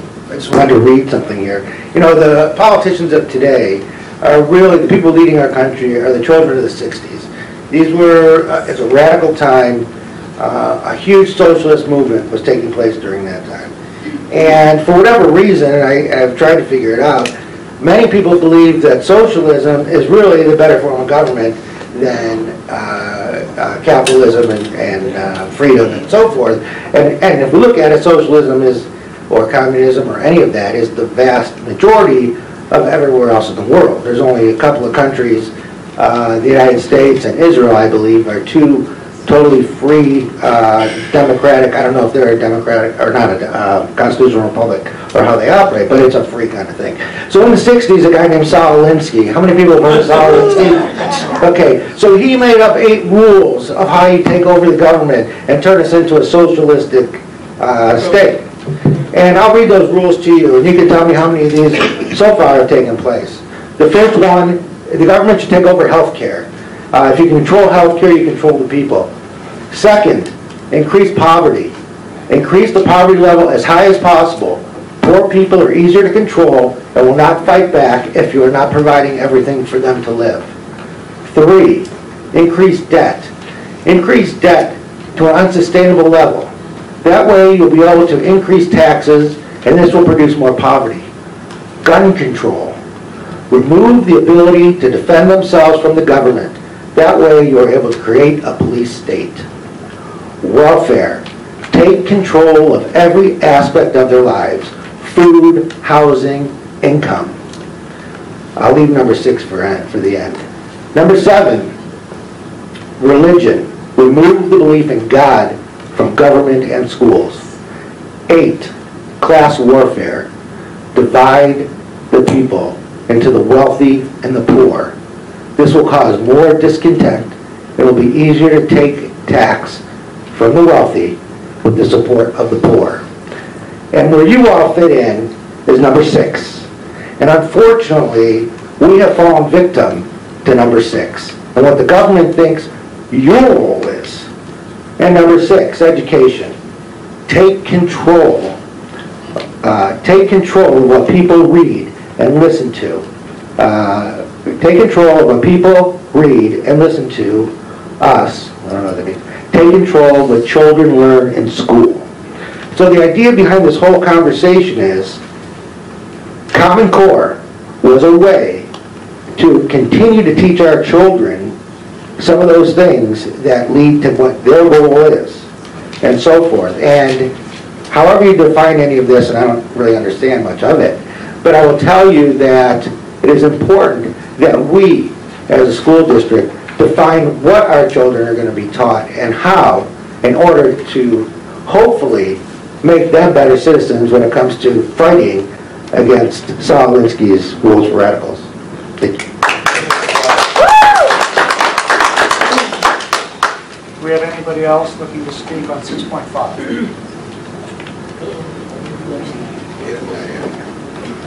My name's Diane Klosterman. I wasn't going to say anything today, and I think most of the people here have really expressed the true feelings.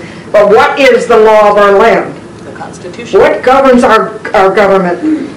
Our United States Constitution. That should be the main thing we focus on for our kids.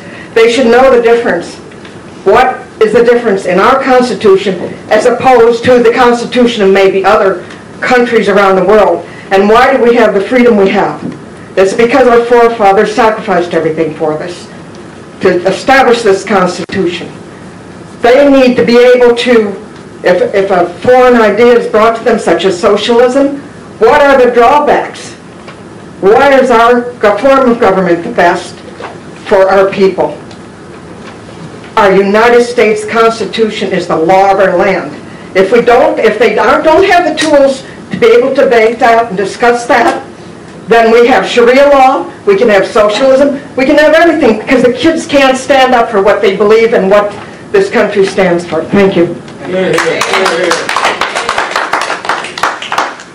Anybody else on 6.5? Uh, Mrs. Cohen, if you, were you going to withdraw your motion? Yes. And who seconded it? I did withdraw mine. Okay, thank you. Uh, Would somebody like to make a motion, or do you want me to do it? I, I move that we approve 6.5 with uh, changes of dropping the word property out of, out of the right section where it says right to life, liberty, uh, property in the pursuit of happiness, and adding another line there that says the right to the fruits of your labor, and removing uh, items listed under liberty from the word socialism down, and using for liberty, freedom, republic, and democracy, Black's Law is our resource for the definition of those words. Second. Any discussion? I just want to I, I emphasize, said dead horse right there, John. I just want to emphasize the people who just got up and spoke, um, I myself own all of these terms.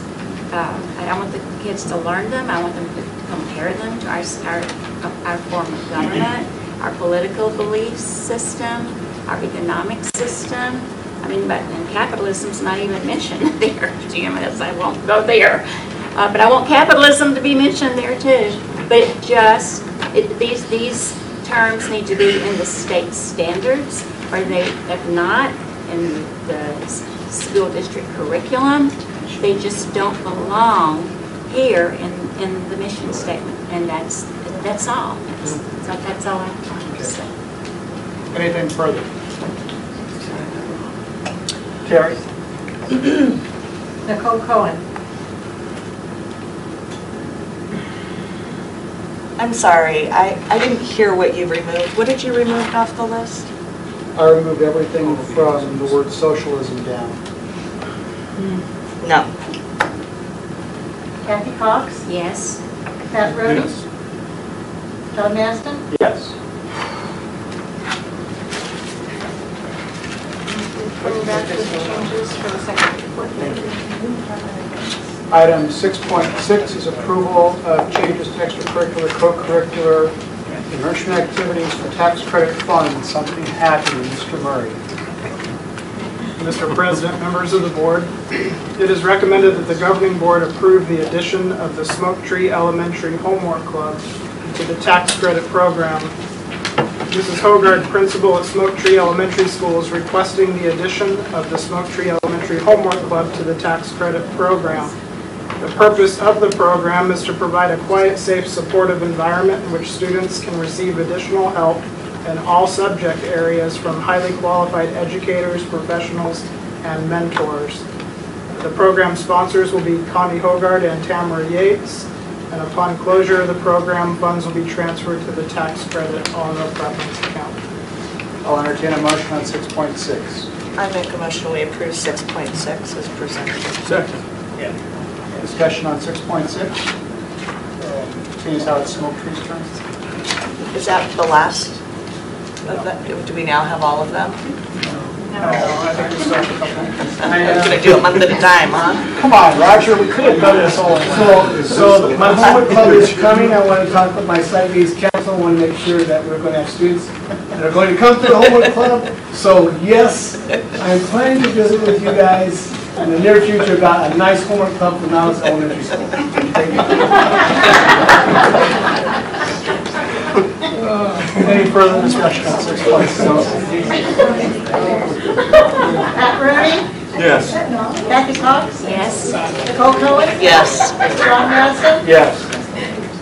Item 6.7 is the approval of Arizona School Board Association policy agreement. Superintendent Asseier. Thank you, Mr. Mazza. Members of the board, it is recommended that the governing board approve the Arizona School Boards Association Policy Service Agreement subscription not to exceed the sum of $364 per month during the term of this agreement for a total of $17,472. This uh, agreement and approval allows us to partner with ASBA in the development and maintenance of our governing uh, policies and our administrative reg- regulations. This is a four-year agreement.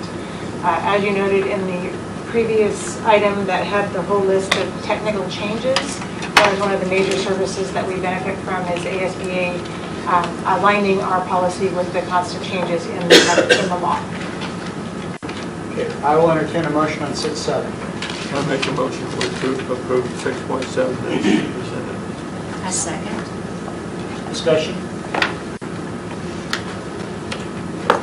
Hearing none, carried. Kathy Cox, Yes. Nicole Cohen. Yes. Pat Rooney. Yes, John Masden. Yes. Item six point eight is approval of resolution and borrowing request to Wells Fargo Bank. Mr. Murray. Mr. President, members of the board, it's recommended that the governing board approve and sign a borrowing request to be forwarded to the Mohave County Treasurer, along with a resolution authorizing the request. The Mohave County Treasurer has requested the governing board approve and sign a borrowing request to Wells Fargo Bank for a credit line in the amount of $1 million. This request replaces the letter of declaration approved by the governing board in the pa- in past years. It is not anticipated the district will be required to borrow funds from Wells Fargo. However, this paperwork must be in place should that become a necessity. Uh, Also attaches a resolution um, authorizing the borrowing requests, and both documents have been reviewed and approved by legal. I will entertain a motion on 6.8. I make a motion, we approve 6.8 as presented. Second. And Mike, just uh, for clarification, this is done every year, right? Every year. And it's done because of the, uh, the the fact that uh, uh, tax monies might come in, not come in on time and all that? Correct. And have we ever used it at all? Not that I can see. Okay. It's, it's just a safety net, stopgap. Right. Don't want to miss payroll. Okay. Want everyone to know that. We're not going to go borrow a million bucks. What you do, we know where you live. We're not actually spending it, folks. We're Just putting the insurance policy. Uh, I will uh, ask for any further discussion. Hearing none, Carrie. Nicole Cohen? Yes. Pat Rooney? Yes. Kathy Cox? Yes. Don Masden? Yes. Uh, Item 6.9 is the first presentation and review of policy GCCH, professional and support staff bereavement leave. It is recommended that the board approve the first presentation of the revised policy GCCH Professional Support Staff Bereavement Leave. Um, The policy is being updated to reflect current working procedures. All right, I will entertain a motion on 6.9. Make a motion, we approve 6.9 as presented. Second, I second. Discussion. I'll make the same comment from the uh, work. Didn't we just do this? We did, but because we just did this, the language had to be tweaked. What did we change? Um, we, the way that the language currently was, it made it sound like employees got bereavement leave on top of sick leave, but the bereavement leave actually comes from their sick days, so the language was just ironed out. Any other discussion, questions? Pat Rooney? Yes. Kathy Cox? Yes. Nicole Cohen? Yes. John Masden? Yes. Item 6.10, approval of contract for contracted speech services with the Ardent Health Solutions. Mrs. Walter? Mr. President and members of the board, it is recommended that the board approve the contract with Ardent Health Solutions for teletherapy speech services with a speech language pathologist for the 18-19 school year, not to exceed 92500 The district has not been able to fill a critical full-time speech therapy position. Ardent Health Solutions is an approved vendor under the state contract RFP 175201-004. We are requesting approval to contract with Ardent Health Solutions for speech therapy services at a rate of $65 per hour for a total sum not to exceed 92,500. The district is obligated to ensure the provision of services for eligible students to receive a free appropriate public education for students requiring related services as required under the Individuals with Disabilities Education Act. Funds from the M and O budget will be used to pay for services. This has been reviewed by our purchasing and legal.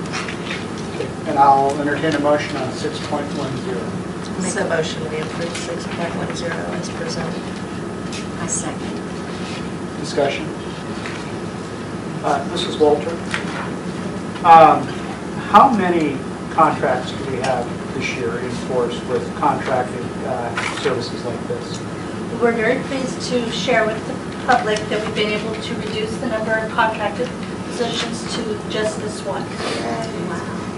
Were able to hire the two occupational therapists that were previously under contract with the district, so we were able to maintain that continuity, and we've been able to fill the other positions. And that's a pretty significant cost savings to the district It by, is. by doing that. Any other questions on 6.10? Terry? Kathy Cox? Yes. Nicole Mullins? Yes. Pat Rooney? Yes. John Masden? Yes. 6.11, approval of vouchers, student activity funds, and auxiliary funds. Mr. Murray. Mr. President, members of the board, it is recommended the board approve the vouchers, uh, district vouchers for July 2018, as well as K-12 student activity funds and K-12 auxiliary funds for June 2018. I'll entertain a motion on 6.11. So moved. Second. Discussion? That new report's really cool that we got today. Did everybody get it? I did. Did I you did. look I at like it? it. Yeah. The visions report that you That- sent? Yes, and that, that actually came right out of the system. Just like that. It was one, one time where I didn't have to actually convert it into an Excel spreadsheet. What So it was time did you get it? Did it help your It eyes? was late, like four. Was it really small? Uh, It was, No, It's actually nice. it was perfect. good. It came out, it came out later this afternoon. We, we still have some, as mentioned in the email, some things to work out, just to Amazing what make it, make it somewhat, you know, make it optimal for you and the public. I didn't, but no. So, so everybody's aware as well, um, these financial reports used to be part of the consent agenda and are actually now a part of the uh, board packet. Makes them more available to public and discussion, which is a good thing, a little more transparency. So, Any questions on this? No.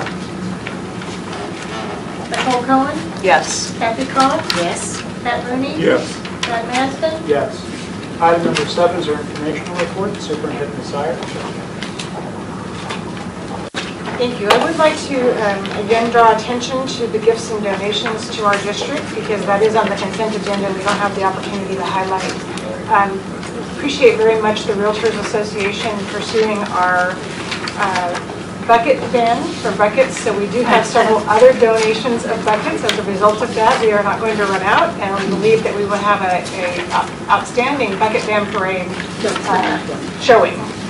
Uh, Also appreciate the relics and rods from Lake Havasu City. for, uh, They don- donated $500 to each of our elementary schools. And of course, we have other donations as well. Um, I also uh, appreciate Mrs. Nowakowski mentioning Rachel's Challenge. That is something that we have been very focused on. And we are having our major event on August 31st, which is, or excuse me, August 27th. Don't come to 31st. No, no, no, not February, August 27th, which is Monday of next week. And uh, we will have assemblies at all of our schools, as well as Calvary's Christian. We are including all of our students from Telesis, those who will join us from HPA, and also our homeschool community. And then our community event is Monday evening at the Aquatic Center. Dinner will be provided by Lynn's Little China for free for those attending, starting at about 4:30. The event actually begins at 6:15, lasts for one hour, and um, it's very powerful for those of us who have been through it. It's just incredible how much uh, an impact it will have. The the uh, Rachel's Challenge presentation is um, not appropriate, the version that the adults will see for our elementary age students, because they do actually address the Columbine shooting and the death of Rachel. And so the community um, will be hosting, uh, sponsored by the city and Parks and Rec, a free swim for our elementary age students who come with their parents. For younger than elementary age, uh, they would, you just bring them in and sit them on your lap because they're, they're not going to understand the content anyway. So we do hope that the community will join us, and if any of you have any friends or um, colleagues that you can mention this to, it will be a, uh, very worth your time that evening to attend. Um, The other, there's uh, two other things I would like to update the board on. First of all, uh, Mrs. uh, Festadagel and I were able to meet with a team at ASU this morning, and this is something that we've been working on for quite some time. The um, ASU Lake Havasu will be starting a teacher credentialing program here in Lake Havasu City.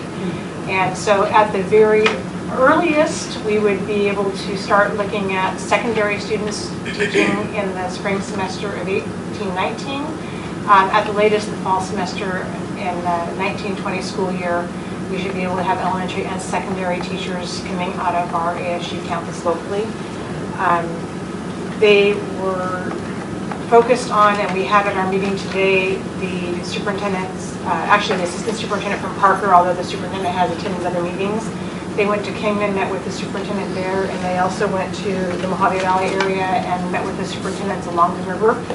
And we understand that if we aren't able to identify folks who already want to be in Havasu, they aren't really going to stay with us as teachers. And so this is an ideal opportunity for that.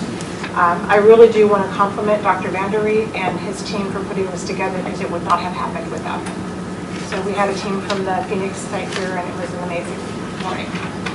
Uh, Also, they did visit, the team visited, we held it uh, speed dating this morning, 20 minutes at the middle school, at the high school, and at Smoke Tree. And so they had a chance to see at least each of our um, level campuses. And then the final thing that I would like to update the board on, and I did um, make a sheet which I will share publicly as well, this is not secret, but we have our enrollment history. And we have been talking a lot about um, how declining enrollment is affecting our district. And so we actually opened school this year. We have now uh, dropped those students who were no-shows. And so we have a total um, district-wide right now of 5,417 students. We are down from where we started last year. Typically, we start a little higher, but we are actually down 95 students from where we started last year. And this is the first time in a long time that we're down at the elementary level. Um, we are starting lower than we ended last year in uh, two of our schools. And um, as is our trend with the high school, we start higher at the high school, but we lose more kids during the year. So we are seeing uh, a pretty deep decline in our enrollment trend. Uh, Right now, we don't have any classes at the elementary, meaning grade level numbers that are over 400. So so that is a pattern that we're seeing as a district, and that is going to influence us. Um, Thinking about being down uh, 95 students district-wide, we're talking um, three or four teachers anyway. So That's not good news for us. Uh, We are continuing to look at that. Um, uh, I- This is one of the areas where with the ASB supporting the um, not using public funds to fund private education. That's one of the areas that is a detriment to us. And also the competition that we have from other schools. So we'll be coming back with some recommendations on how we can reattract some of our students. We know that there are over 400 students attending Telesis and the same at um, That's a large number of students that we could be bringing back to our schools. Can you tell by grade what's dropped, like second grade to first grade? Yes, yeah, and, and each class coming in is smaller. So right now, our smallest class, again, is kinder. Now, some of that is because students kinder and first grade go to other schools within the community. But just generally as a 10, the birth rates, uh, trend, excuse me, birth rates are lower. Uh, In our area is the lowest birth rates within the state of Arizona, Mohave County. All right. Uh, Item number eight is our second call to the public. Uh, We had one person fill out the form, and that would be Chris May, if you'd like to come up and talk to us.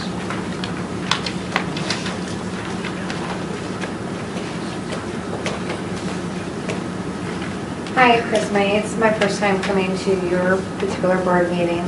Uh, My family and I moved down here uh, almost a year ago.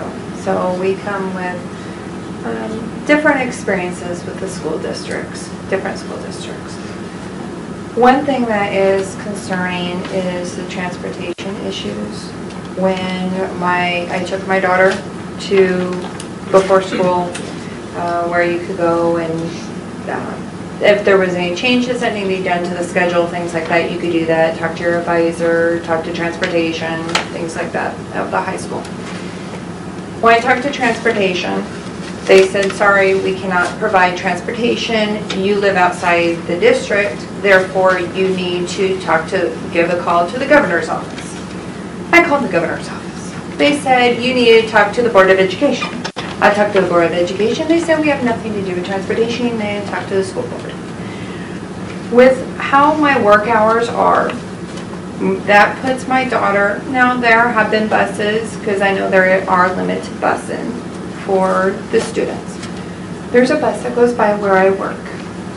But because we don't live within the district, they will not provide the transportation, so that forces my daughter to walk 2.8 miles by herself if I'm unable to get her due to my work hours.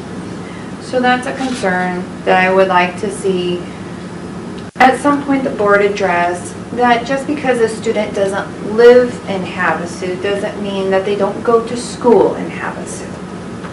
So if they live a distance that otherwise would be provided by students that live in the area and they get transportation, but a parent works in that area, I would like to possibly see some changes in that area.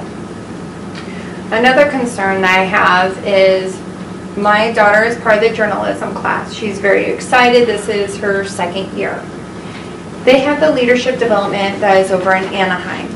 We're really excited. The dates were tentatively put out to the families and to the students last May. Then at the open house, we found out, oh, sorry, that's been, has to be rescheduled because of the busing and bus driver issues. That creates a conflict. So it has to revolve around the activity bus for the sports. So now you've put something that students that want, have an opportunity for a leadership development at odds with those that have sports. I have nothing against sports. I played sports when I was younger. I think it's great.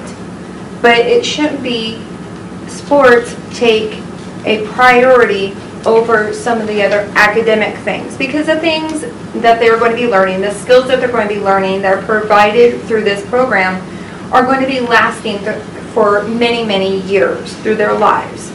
We all learn communications, we all learn academics, we all need a, a rounding off. And that's an opportunity that that provides. And so because there wasn't any transportation and that forced the teachers to go and charter a bus to take these students over because their schedules were not able to be changed because of other commitments that they have. That put a burden on the journalism teachers and some of the other teachers that are involved in this. And that just really saddens me because that luckily there was every student that applied was able to get a seat on that charter bus. But it shouldn't have been first 40 students that come in are the ones who get a ride and get to go. It should be the, any of them in those particular classes that want to go can go, not we have a limited number of seats. So I would like to see that addressed as far as this academics versus the sports. That everything shouldn't be revolved around sports. The third thing I have that I would really like to see, and I know will take time in to develop, is a Running Start program. Where we come from in Washington State, they have a, a Running Start program. High school students can go to a community college. It's tuition free. They don't have to buy back their credits. They don't have to pay for credits. The textbooks, yes. They would have to help pay for the textbooks and transportation to the community colleges. But they can graduate high school and have a diploma concurrently with having an associate's degree from the college. I've gone to the, I've gone and talked to the school about it, and they said, well, you can do AP classes, or you can do a dual enrollment, but then you have to buy the credits. So, thank you. Uh, Just, just for clarification, you said you lived outside the district. Yes, Where, where do you live? Kingman. Thank you.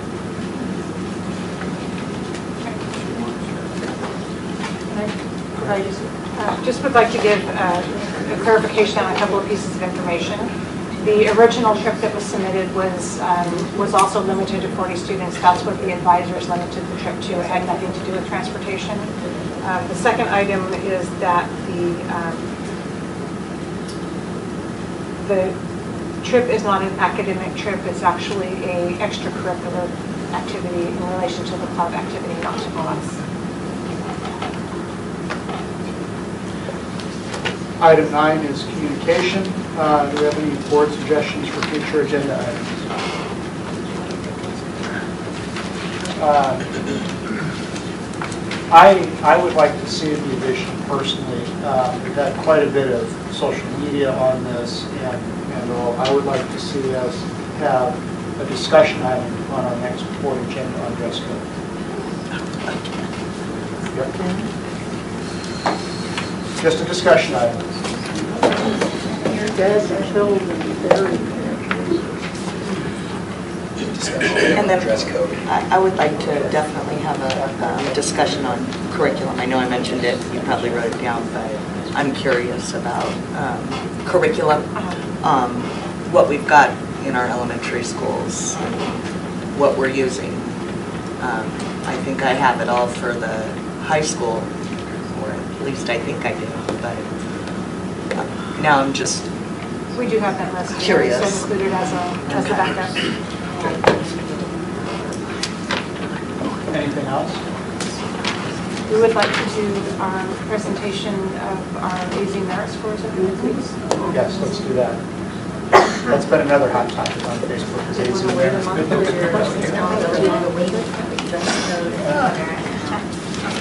Take our items. Okay, anything else? Um, We have any members of the press or media here? I know that we had a change in our reporters from the newspaper, but Chelsea was going to watch on Chelsea's watching online. Hi, Chelsea. If you, if you come, we can actually have you ask us questions, so she's online. Everybody wave for Chelsea. she Um, At this, at this point, I will also announce that our next regular meeting is September 18th, 2018, 6 PM, right here. Uh, There will be a work session uh, just uh, the week prior to that, 4 o'clock on Tuesday, the 11th. Um, And with no further ado, I will entertain a motion to adjourn. I make the motion we adjourn. Second. That was quick. Kathy Cox? Yes. Nicole Cohen? Yes. Rooney? John Masden? Yes. Thank you. We are adjourned.